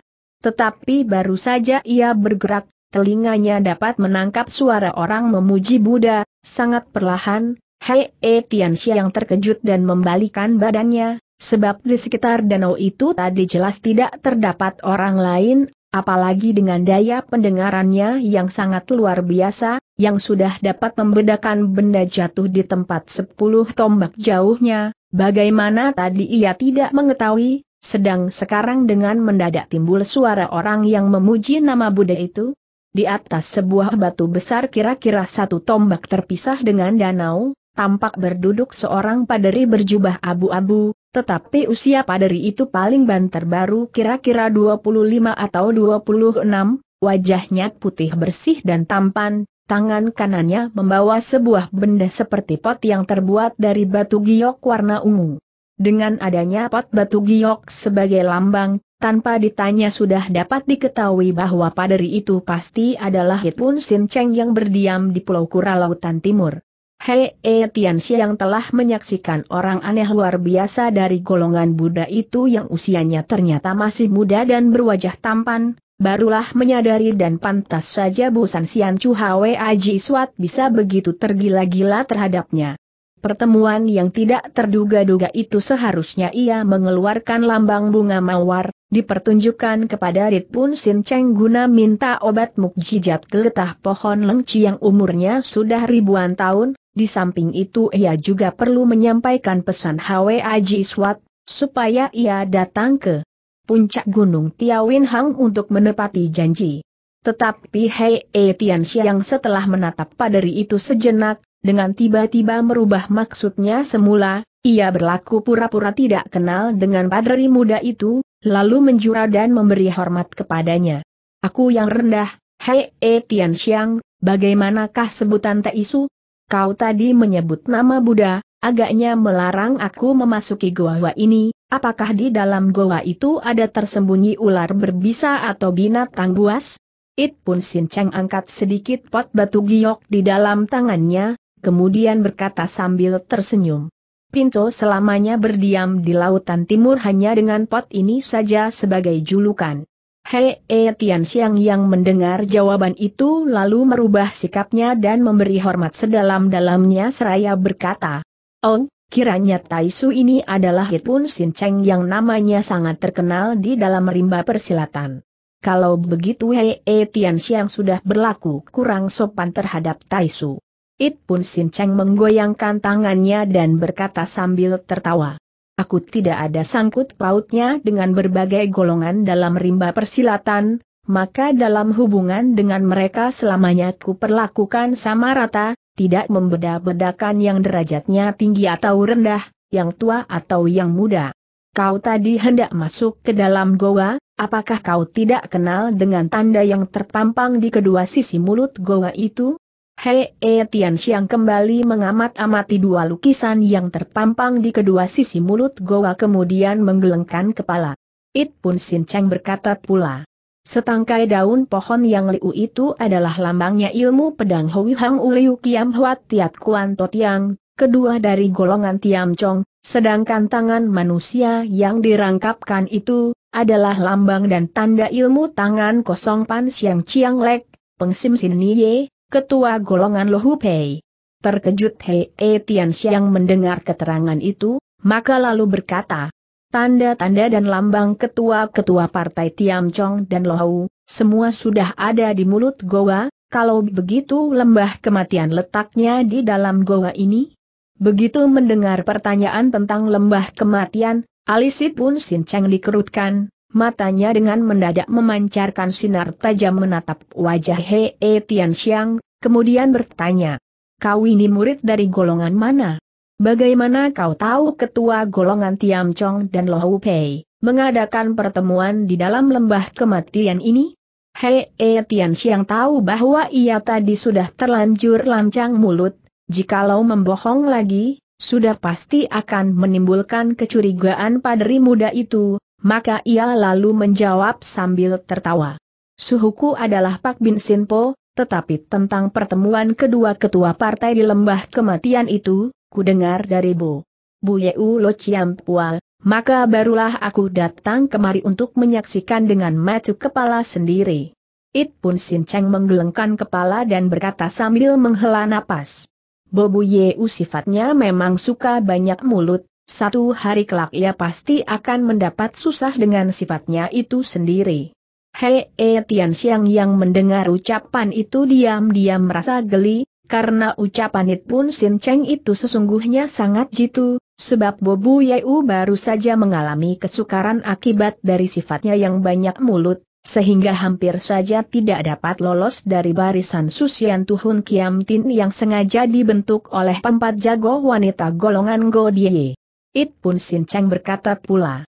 Suhu Pak bin Sin Pohang Poh Cui meskipun namanya sangat terkenal di seluruh jagat, dan pernah menggemparkan rimba persilatan, tetapi Pengsim Sin Nye dan Tiat Kuan Tot yang yang kini berada di dalam lembah kematian ini, semuanya merupakan ketua-ketua dari suatu golongan besar, terutama pertempuran yang sifatnya rahasia semacam ini, paling pantang disaksikan oleh orang lain, mau keramaian yang membawa akibat bisa mencelakakan diri sendiri itu, sebaiknya jangan disaksikan saja. Hei E Tian Xiang perlahan-lahan berjalan menghampiri Ye Pun Sin Cheng, baru kinilah ia dapat melihatnya dengan tegas bahwa pot batu giok yang berwarna ungu itu di dalamnya ternyata ada tanahnya yang juga berwarna ungu, dan di atas tanah itu tumbuh sebuah tanaman warna ungu pula yang berdaun sembilan. Dalam keheran-heranannya, ia bertanya sambil tersenyum. Taisu suruh aku sebaiknya jangan menyaksikan keramaian itu, sedangkan kau sendiri jauh-jauh datang dari lautan timur, apakah perlunya? Aku hanya ingin menggunakan kepandaianku yang ada untuk mencegah terjadinya malapetaka yang mengancam diri Pengsim Sin Nye dan Tiat Kuan Totiang. Taisu dengan cinta kasih yang begitu besar kau hendak mencegah kedua pihak Ji yang bersangkutan terhindari dari bahaya maut, Apakah Taisu tidak keberatan kalau He E Tian Xiang juga turun mengeluarkan sedikit tenaga yang ada untuk berbagi pahalamu ini? It pun Sin Cheng kembali terbungkam oleh pertanyaan itu, tapi akhirnya berkata juga sambil menganggukkan kepala dan tertawa. He E Xiao Si Chu, kau sesungguhnya seorang gagah yang sangat berani dan pandai bicara, sesungguhnya merupakan jago muda yang jarang terdapat di dalam rimba persilatan. Baik, baik, baik, Pinceng bersedia membantu untuk mencapai cita-citamu yang baik ini. Kedatangan Taisu barangkali terlalu pagi Pengsim Sin Nye dan Tiat Kuan Tot yang berdua entah sejak kapan memasuki goa bertanya Hei E Tian Xiang sambil tertawa. Tadi pagi-pagi sekali, dua ketua dari dua partai besar itu, setelah masing-masing melukiskan lambang tandanya ke atas batu di mulut goa itu, lalu bersama-sama memasuki lembah kematian. Mendengar jawaban itu Hei Tianxia yang terkejut, maka lalu bertanya. Pagi-pagi sekali sudah masuk ke dalam lembah, hingga sekarang sudah cukup lama, kalau Taisu memang hendak mencegah terjadinya pertempuran antara kedua ketua itu, bagaimana hingga sekarang masih belum bersedia masuk ke dalam lembah? Bagaimana kau pandang begitu tidak berharga dua ketua itu? Mereka setelah masuk ke lembah kematian, pertandingan yang dilakukan dengan tangan kosong hingga menggunakan senjata tajam, dan dari senjata tajam lalu beralih ke pertandingan kekuatan tenaga dalam, Setidak-tidaknya akan makan waktu dua atau tiga hari lamanya, barulah kedua-duanya kehabisan tenaga dan melakukan pertempuran mati-matian yang terakhir berkata Rit Pun Sin Cheng sambil menggelengkan kepala dan tertawa. Oh, jadi Taisu hendak menunggu sampai keduanya melakukan pertandingan yang terakhir, barulah hendak masuk ke dalam lembah? It Pun Sin Cheng memandangnya sejenak, kemudian berkata sambil tersenyum. Orang-orang rimba persilatan seperti Peng Sim Sin Nye dan Tiat Kuan Totiang yang menjadi ketua dari partai besar, sudah tentu sifatnya tinggi hati, sayang namanya daripada nyawanya, jikalau tidak menunggu sampai mereka kehabisan tenaga, siapakah yang bisa memasuki goa itu? Sekalipun kita berhasil memasuki goa dengan diam-diam, asal terlihat oleh mereka, pasti akan ditertawakannya dan diejeknya sehingga kita mendapat malu besar, bahkan ada kemungkinan kita akan diusir keluar. Setelah mendengar keterangan itu, Hei Tian Xiang tahu bahwa apa yang telah dikatakan It Pun Sin Cheng, memang sebenarnya, maka ia hanya menghela napas karena merasa sayang. It Pun Sin Cheng yang menyaksikan keadaan demikian, bertanya dengan heran. Xiao Chu, mengapa sikapmu menunjukkan perasaan sayang? Tiat Kuan Tot yang dalam rimba persilatan mendapat julukan jago pedang nomor satu dari golongan Tiam Chong Pei. Di samping ilmu pedangnya yang terdiri dari 72 jurus, kepandaian ilmu silat lainnya juga sudah menggemparkan dunia Kang Ou. Sedangkan Peng Sim Sin ilmu tangan kosongnya Pan Sian Chiang Lek dan senjata kebutannya Pin Sw Ihut, merupakan kepandaian luar biasa dalam rimba persilatan, yang sudah lama sangat kukagumi. Pertandingan yang jarang tampak ini sebaliknya aku tidak mendapat kesempatan untuk menyaksikan, maka itu merasa sangat sayang. Metrit pun Sin Cheng memandang He E Tian Xiang dari atas sampai ke bawah, tiba-tiba bertanya. Apakah suhumu pernah mengajari kau ilmu mengkeretkan badan? Hei Tian Xiang meskipun merasa pertanyaan itu agak mendadak, tetapi ia tahu ada mengandung maksud dalam, maka menjawab dengan muka kemerah-merahan. Suhu memang pernah mengajarkan, tetapi oleh karena aku diam-diam meninggalkan suhu turun gunung, hingga ilmuku belum mencapai ke taraf yang sempurna betul, barangkali hanya tujuh atau delapan bagian saja. Pelajaran ilmu batin keturunan Pak Bin Sinpo sudah tentu sangat jauh berlainan dengan golongan biasa, kalau sudah berhasil mempelajari ilmu mengerutkan tubuh sehingga delapan bagian, barangkali sudah cukup kau pakai. Berkata sampai di situ, It pun Sin Cheng berdiam sejenak dan selagi Hei E Tian Xiang hendak menanyakan sebabnya, ia harus menggunakan ilmu mengerutkan badan, It pun Sin Cheng sudah berkata pula sambil menunjuk goa yang gelap itu. Ucapanmu tadi benar, dengan tidak mudah kita menemukan pertandingan antara orang-orang seperti Peng Sim Sin Nye dan Tiat Kuan Tot yang yang kedua-duanya memiliki kepandaian ilmu silat sangat tinggi, jikalau kita tidak menyaksikan dengan mata sendiri, sesungguhnya sangat sayang dengan perjalanan kita ini. Hei E Tian Xiang dapat menyelami maksud ucapan It Pun Sin Cheng itu maka dengan sangat girang ia bertanya. Apakah Taisu mengizinkan aku masuk ke dalam lembah untuk menyaksikan secara diam-diam? It Pun Sin Cheng menjawab sambil menganggukkan kepala, tetapi aku minta kau mesti mematuhi ucapanmu sendiri. Itu, ialah menyaksikan secara diam-diam. Ketahuilah olehmu bahwa daya pendengaran orang-orang seperti dua ketua partai itu, sekalipun hanya sebutir pasir jatuh di tanah sudah cukup mengejutkan mereka, maka sekali-kali kau jangan mendekati tempat sejarak sepuluh tombak dari tempat pertempuran, jikalau tidak perbuatanmu ini bukan saja mencelakakan orang lain, tetapi juga bisa mencelakakan dirimu sendiri. Hei Tian yang menganggukkan kepala tanda menurut, baru saja hendak lompat melesat, It pun Sin Cheng sudah berkata lagi. Setelah kau masuk ke dalam goa, kau harus melewati dinding batu yang terdiri empat lapis, barulah bisa sampai ke lembah kematian. Tetapi dinding lapis empat itu, sulit bagimu untuk melewati, juga tidak boleh kau lewati, kau hanya boleh berpisah dengan dinding batu itu, untuk menyaksikannya dengan menahan nafas. Dalam benak Hei Tianxia yang saat itu sudah terbayang bagaimana serunya pertempuran antara Pengsim Sin Nye dan Tiat Kuan Toti yang itu, maka ketika mendengar perkataan itu, sambil menganggukkan kepala ia sudah lompat melesat, dua kali lompatan saja sudah masuk ke dalam goa yang gelap. Setelah melewati lima tikungan, beradalah di dalam goa yang sedikit pun tidak ada sinarnya, hingga keadaan gelap gulita, di samping itu juga terdapat selapis dinding tembok yang merintangi perjalanannya. Hei Tian Xiang mengulur tangannya meraba-raba dinding itu, benar saja dinding itu terpisah kira-kira empat kaki tingginya dari sana, di situ terdapat lubang kecil kira-kira satu kaki, maka lalu ia menggunakan ilmunya mengkeretkan badannya, menyusup ke dalam lubang kecil itu.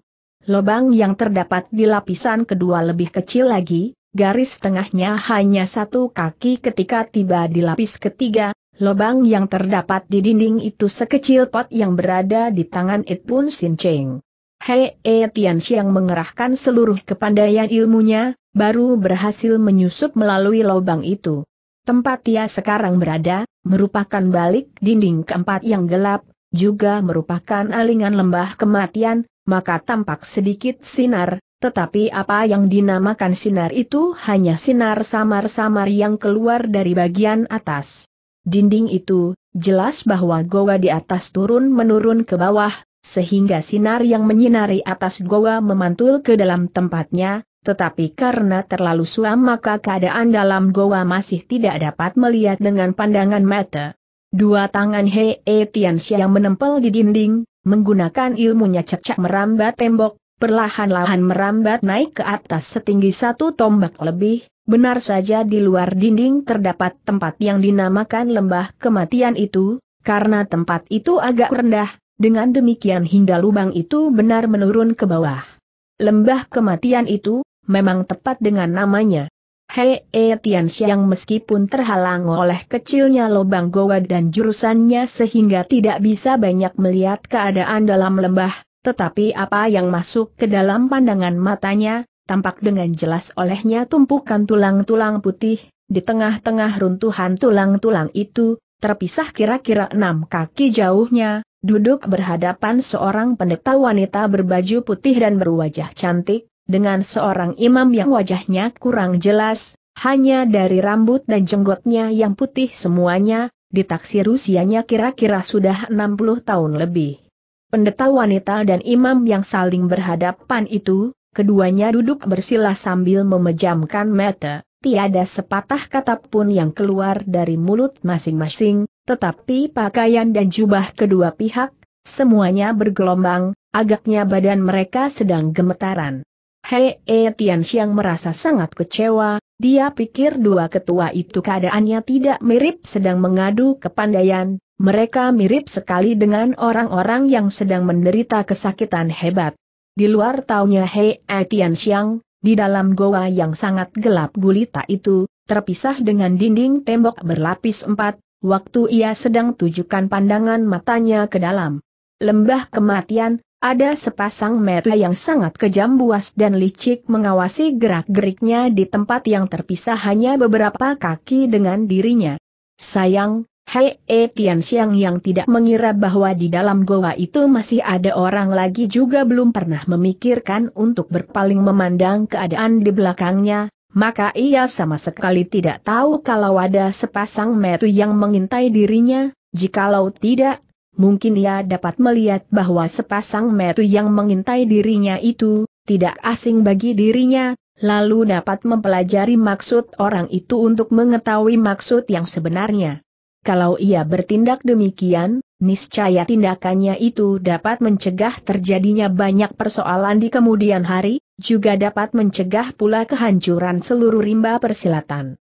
Orang yang sembunyi di tempat gelap itu beberapa kali mengangkat tangannya, hendak membokong Hei Tianxiang, tetapi entah pertimbangan apa, akhirnya ia membatalkan maksudnya, Sedangkan Hei Tianxia yang saat itu sudah mendapat lihat bahwa Pengsim Sin Nye dan Tiat Kuan Tot yang benar seperti dalam keadaan terluka parah, maka ia telah mengambil keputusan hendak balik kembali untuk memberitahukan kepada It Pun Sin Cheng dan minta ia supaya mengambil tindakan seperlunya. It Pun Sin Cheng sendiri juga tidak menduga bahwa di dalam lembah kematian itu bisa terjadi perubahan secara tiba-tiba demikian. Ketika menampak Hei Tian Xiang yang belum lama masuk ke dalam goa, sudah melompat keluar kembali dengan sikap gugup dan bingung, maka lalu ditegurnya dengan perasaan heran. Xiao Chu, bagaimana demikian cepatkah sudah kembali lagi? Apa kau tadi mengeluarkan suara, sehingga mengejutkan mereka berdua? Belum lagi habis ucapannya, Hei Tian Xiang sudah menjawab. Taisu, lekas pergi lihat, Aku sendiri tidak mengalami kesulitan apa-apa, namun aku khawatir dua ketua itu barangkali akan mengalami kesulitan besar. Agak bingung pun Sin Cheng mendengar jawaban itu, maka ia masih bertanya dengan perasaan sangsi. Kau maksudkan Tiat Kuan Toti yang yang mendapat kesulitan dari serangan tangan Pan Sian Chiang Lek Pengsim Sin Niye, ataukah Pengsim Sin Nie yang mendapat kesulitan menghadapi ilmu pedang Hui Hang Uliu Kiam Hoat? Karena keadaan sudah mendesak, maka He Tian yang tidak menjawab pertanyaan It pun Sin Cheng, sebaliknya menarik tangan paderi itu dan diajak bersama-sama masuk ke dalam goa. Dalam perjalanan itu ia menceritakan tentang apa yang dilihatnya di dalam lembah. It pun Sin Cheng yang mendengar laporan ini merasa setengah percaya setengah tidak, tetapi ketika dia tiba di dinding lapis keempat, dari satu celah lubang mengintai ke dalam lembah kematian, baru tahu bahwa ucapan He Tianxia yang sedikit pun tidak salah. Dalam perjalanan itu, He Tianxiang baru menyadari bagaimana hebatnya kepandaian ilmu Yit Pun Sin Cheng, dengan tangan membawa pot batu giok, dengan mudah sekali ia dapat menyusup masuk melalui lubang-lubang goa yang sangat kecil itu. Dalam keadaan demikian, ia sangat kagum sekali terhadap kepandaian paderi itu, saat itu tampak olehnya Rit Pun Sin Cheng. Sedang pusatkan perhatiannya kepada Pengsim Sin Nye dan Tiat Kuan Tot yang yang duduk berhadapan di sekeliling tulang-tulang manusia, namun agaknya juga tidak berdaya, maka ia lalu berkata dengan suara perlahan. Mengapa Taiso tidak mau menggunakan ilmu singa mengaung dari golongan Buddha, atau naga sakti menyanyi? Coba mungkin dapat menyadarkan dua ketua partai yang agaknya berada dalam keadaan pingsan itu? It pun Sin Cheng merasa bahwa usul Hei Tian Xiang itu sesungguhnya boleh dicoba, maka ia lalu mengerahkan kekuatan tenaganya, lebih dulu ia menggunakan ilmu naga menyanyi yang sangat lembut, namun paling tepat untuk menggerakkan pikiran orang, ia berkata sambil tertawa. Pengsim Sin Nye dan Tiat Kuan Totiang, dengan care bagaimana kalian berdua bisa bersama-sama berada di dalam lembah kematian ini? Sungguh gembira nampaknya kalian berdua. Pengsim Sin Nye dan Tiat Kuan Totiang yang mendengar suara itu, lebih dulu Tiat Kuan Toti yang yang agaknya terkejut, kemudian disusul oleh Pengsim Sin Chnie yang bergerak kelopak matanya, tetapi akhirnya karena tiada sanggup membukanya, sehingga badannya gemetar semakin hebat. Pada saat itu, orang yang tadi sembunyi di dalam ruang yang gelap itu sudah lama mengundurkan diri melalui jalan rahasia. It pun Sin Cheng yang melihat bahwa ilmunya tadi itu masih belum berhasil menyadarkan kedua pemimpin itu, lalu mengerahkan ilmunya yang dinamakan singa mengaung, dengan suara keras ia berkata, Toyu berdua, bagaimana kalian seperti dalam keadaan bingung? Pincengit pun ada di sini. Suara ini menimbulkan gema yang sangat hebat, sehingga menggetarkan lembah dan gua yang gelap itu. Kali ini Pengsim Sinniye, dengan susah payah dari mulutnya mengeluarkan suara lemah dan terputus-putus. Di luar, lembah, Kema, Tian, ada, orang. Membokong, aku, dan, ketua. Tiam Chong Pei. Tiat Kuan. Totiang, selagi, pertempuran, berlangsung, tidak lama, lalu, sama-sama. Terkena, racun, berbisa.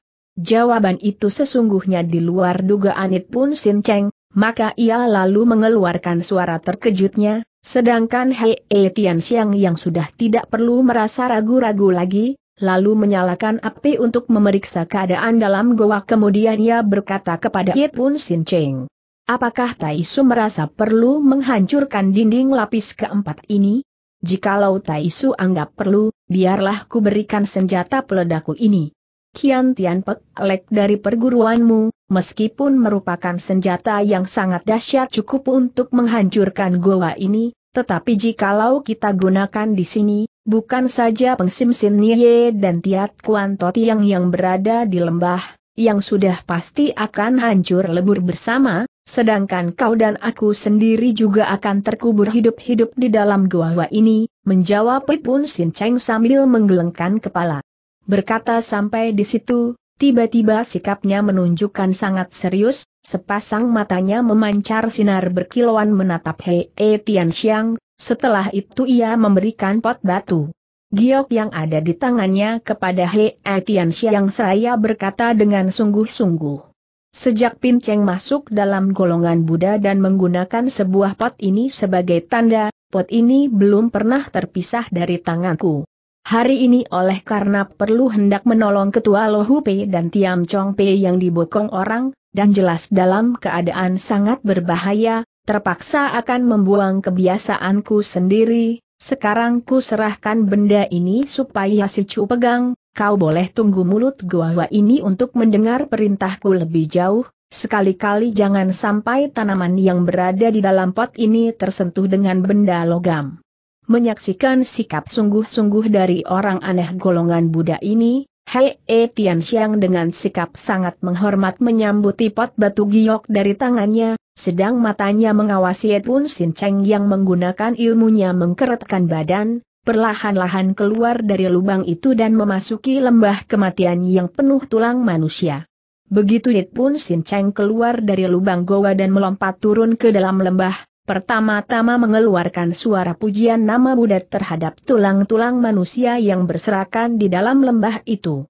Pada saat itu, ketua dari golongan Lohu dan Tiam Chong meskipun mereka memiliki kekuatan tenaga yang sudah sempurna, namun kedua-duanya masih tidak sanggup mempertahankan keadaannya duduk di tanah, sehingga jatuh rubuh di atas tumpukan tulang, sedang sekujur badannya gemetaran, jika ditelik dari keadaannya yang demikian, paling lama hanya dalam waktu beberapa menit saja jiwanya pasti akan melayang.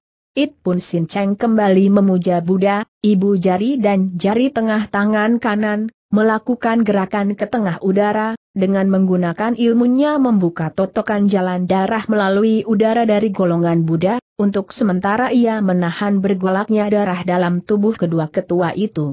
Kemudian, ia cepat-cepat lompat kembali ke dalam goa, dan berkata kepada He Tian Xiang. Xiao Si Chu, lekas kau petikan selembar daun yang berada dalam goa itu, berikan kepadaku untuk menolong mereka.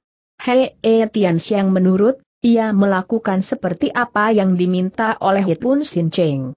Poros bekas petikan tangkai daun itu, mengeluarkan getah berwarna putih, Getah itu menimbulkan bau yang sangat harum sekali, sehingga bagi orang yang menciumnya pikirannya merasa segar dan begitu pula perasaannya. Getah dari tumbuhan ajaib yang memiliki bau demikian harum, mengingatkan Hei Tian yang akan perintah duta mawar, hingga diam-diam menduganya apakah getah itu getahnya pohon lengci yang sudah berumur ribuan tahun. It pun Sin Cheng setelah menerima daun dari tangan Hei Tian Xiang, segera dibagi menjadi dua potong, yang masing-masing dimasukkan ke dalam mulut Pengsim Sin Nye dan Tiat Kuan Totiang, di samping itu, di atas badan dua orang itu, dia mengurut-urut dengan melalui ilmu dari jarak jauh. Tindakan itu seolah-olah menggunakan tenaga terlalu banyak, hingga di atas kepalanya sampai mengeluarkan keringat. Hei Tian Xiang yang menyaksikan dengan jelas, tahu bahwa Rit Pun Sin Cheng karena terbatas oleh adat istiadat antara kaum pria dengan wanita, terpaksa harus menggunakan ilmunya yang memakan banyak tenaga itu. Mengurut-urut melalui udara, supaya getah dari daun tadi lekas membawa hasil. It Pun Sin Cheng yang merupakan sahabat akrab Pengsim Sin Niye, tidak heran jika ia mengeluarkan banyak tenaga untuk menolong jiwa sahabatnya itu, tetapi terhadap musuh besar sahabatnya itu ialah Tiat Kuan Totiang, ia juga perlakukan dengan cara yang serupa, tidak membeda-bedakan atau pilih kasih. Ini membuktikan betapa agung cinta kasih Hitpun Sin Cheng terhadap sesama manusia, dan betapa adil tindakannya itu, sehingga He Etian Xiang yang menyaksikan semuanya itu merasa sangat kagum sekali. Tak lama kemudian Hitpun Sin Cheng menarik napas panjang, dan menarik kembali tangannya sambil tersenyum. He Etian Xiang tahu bahwa usaha padri muda itu telah berhasil, hingga dengan demikian dua ketua dari dua partai besar yang saling bermusuhan itu, terhindarlah dari ancaman maut. Benar saja, dalam waktu sekejap mata, Pengsim Sin Nye dan Tiat Kuan Toti yang dua-duanya telah sadar kembali dan lompat dari tumpukan tulang. Dua orang itu dengan berbareng membuka tangannya, dalam telapak tangan masing-masing terdapat sebuah duri beracun yang panjangnya satu dim dan bentuknya sangat aneh, tetapi besar dan kecilnya benda itu serupa benar. Tiat Kuantot yang membolak-balikan duri beracun dalam tangannya, dengan sangat hati-hati dimasukkan dalam saku bajunya, lebih dahulu ia menganggukkan kepala kepada Yit Pun Sin Cheng untuk mengucapkan terima kasih atas pertolongannya, kemudian berkata kepada Pengsim Sin Niye, pertemuan kita hari ini, oleh karena kita sama-sama terbokong oleh manusia licik, sudah tentu kita habiskan sampai di sini dahulu. Tetapi Pinto ingin berunding dengan Taisu, bolehkah kiranya pertempuran yang dijanjikan akan dilakukan pada musim panas tahun depan kita undurkan waktunya? Kalau sudah ditentukan, perlu apa harus diundurkan jawab Pengsim Sin Nye dengan nada suara dingin. Sepasang mata, tiat kuan toti yang terbuka lebar. Dengan sinar mata, tajam menatap wajah Pengsim Sin Niye, kemudian berkata dengan suara tegas, Pengsim Taisu, kau jangan salah paham, tiga jago pedang dari golongan Tiam Chong dan semua anak muridnya, apa kau kira ada orang-orang yang takut mati? Aku hanya pikir hendak menyelidiki lebih dahulu siapa manusianya yang begitu tidak tahu malu, yang menggunakan senjata duri beracun ini membokong kita. Setelah kita berhasil menangkap kawanan tikus itu barulah kita mengadakan pertemuan lagi untuk melangsungkan pertandingan antara Tiam Chong dengan Lohu. Hei E Tian Xiang yang mendengar pembicaraan itu tiba-tiba teringat pada tujuh orang penting golongan butong, tiga di antaranya juga binasa oleh senjata duri beracun itu. Keadaannya mirip dengan kejadian hari ini, sayang, oleh karena jarak terlalu jauh ia tidak dapat melihat dengan tegas duri beracun di tangan Pengsim Sin Nye dan Tiat Kuan Tot yang itu, apakah betul merupakan duri yang berbentuk ujung tiga? Selagi dalam hatinya timbul perasaan curiga, terdengar pula Pengsim Sin Nye menjawab, kata-katamu ini aku dapat mengerti, kita masing-masing berusaha untuk mencari dan membasmi orang itu, setelah kita berhasil dalam usaha itu, lalu mengadakan pula tempat dan waktunya untuk melangsungkan pertandingan. Tiat Kuan Tot yang yang mendengar ucapan itu lalu berkata sambil menganggukkan kepala, baiklah, demikian saja kita tetapkan, oleh karena Pinto ingin segera melakukan penyelidikan terhadap manusia tidak tahu malu yang melakukan perbuatan rendah itu, maka di sini aku minta diri lebih dahulu. Sehabis berkata, Kembali ia memberi hormat kepada Yit Pun Sin Cheng, lalu melompat melesat melalui lubang dalam goa, dengan menggunakan ilmunya mengkeretkan tubuh. Hei E Tian Xiang sebetulnya ingin menyingkir tapi kemudian berpikir lain. Ia tetap berdiri dengan tegak sambil memegang pot Pun Sin Cheng.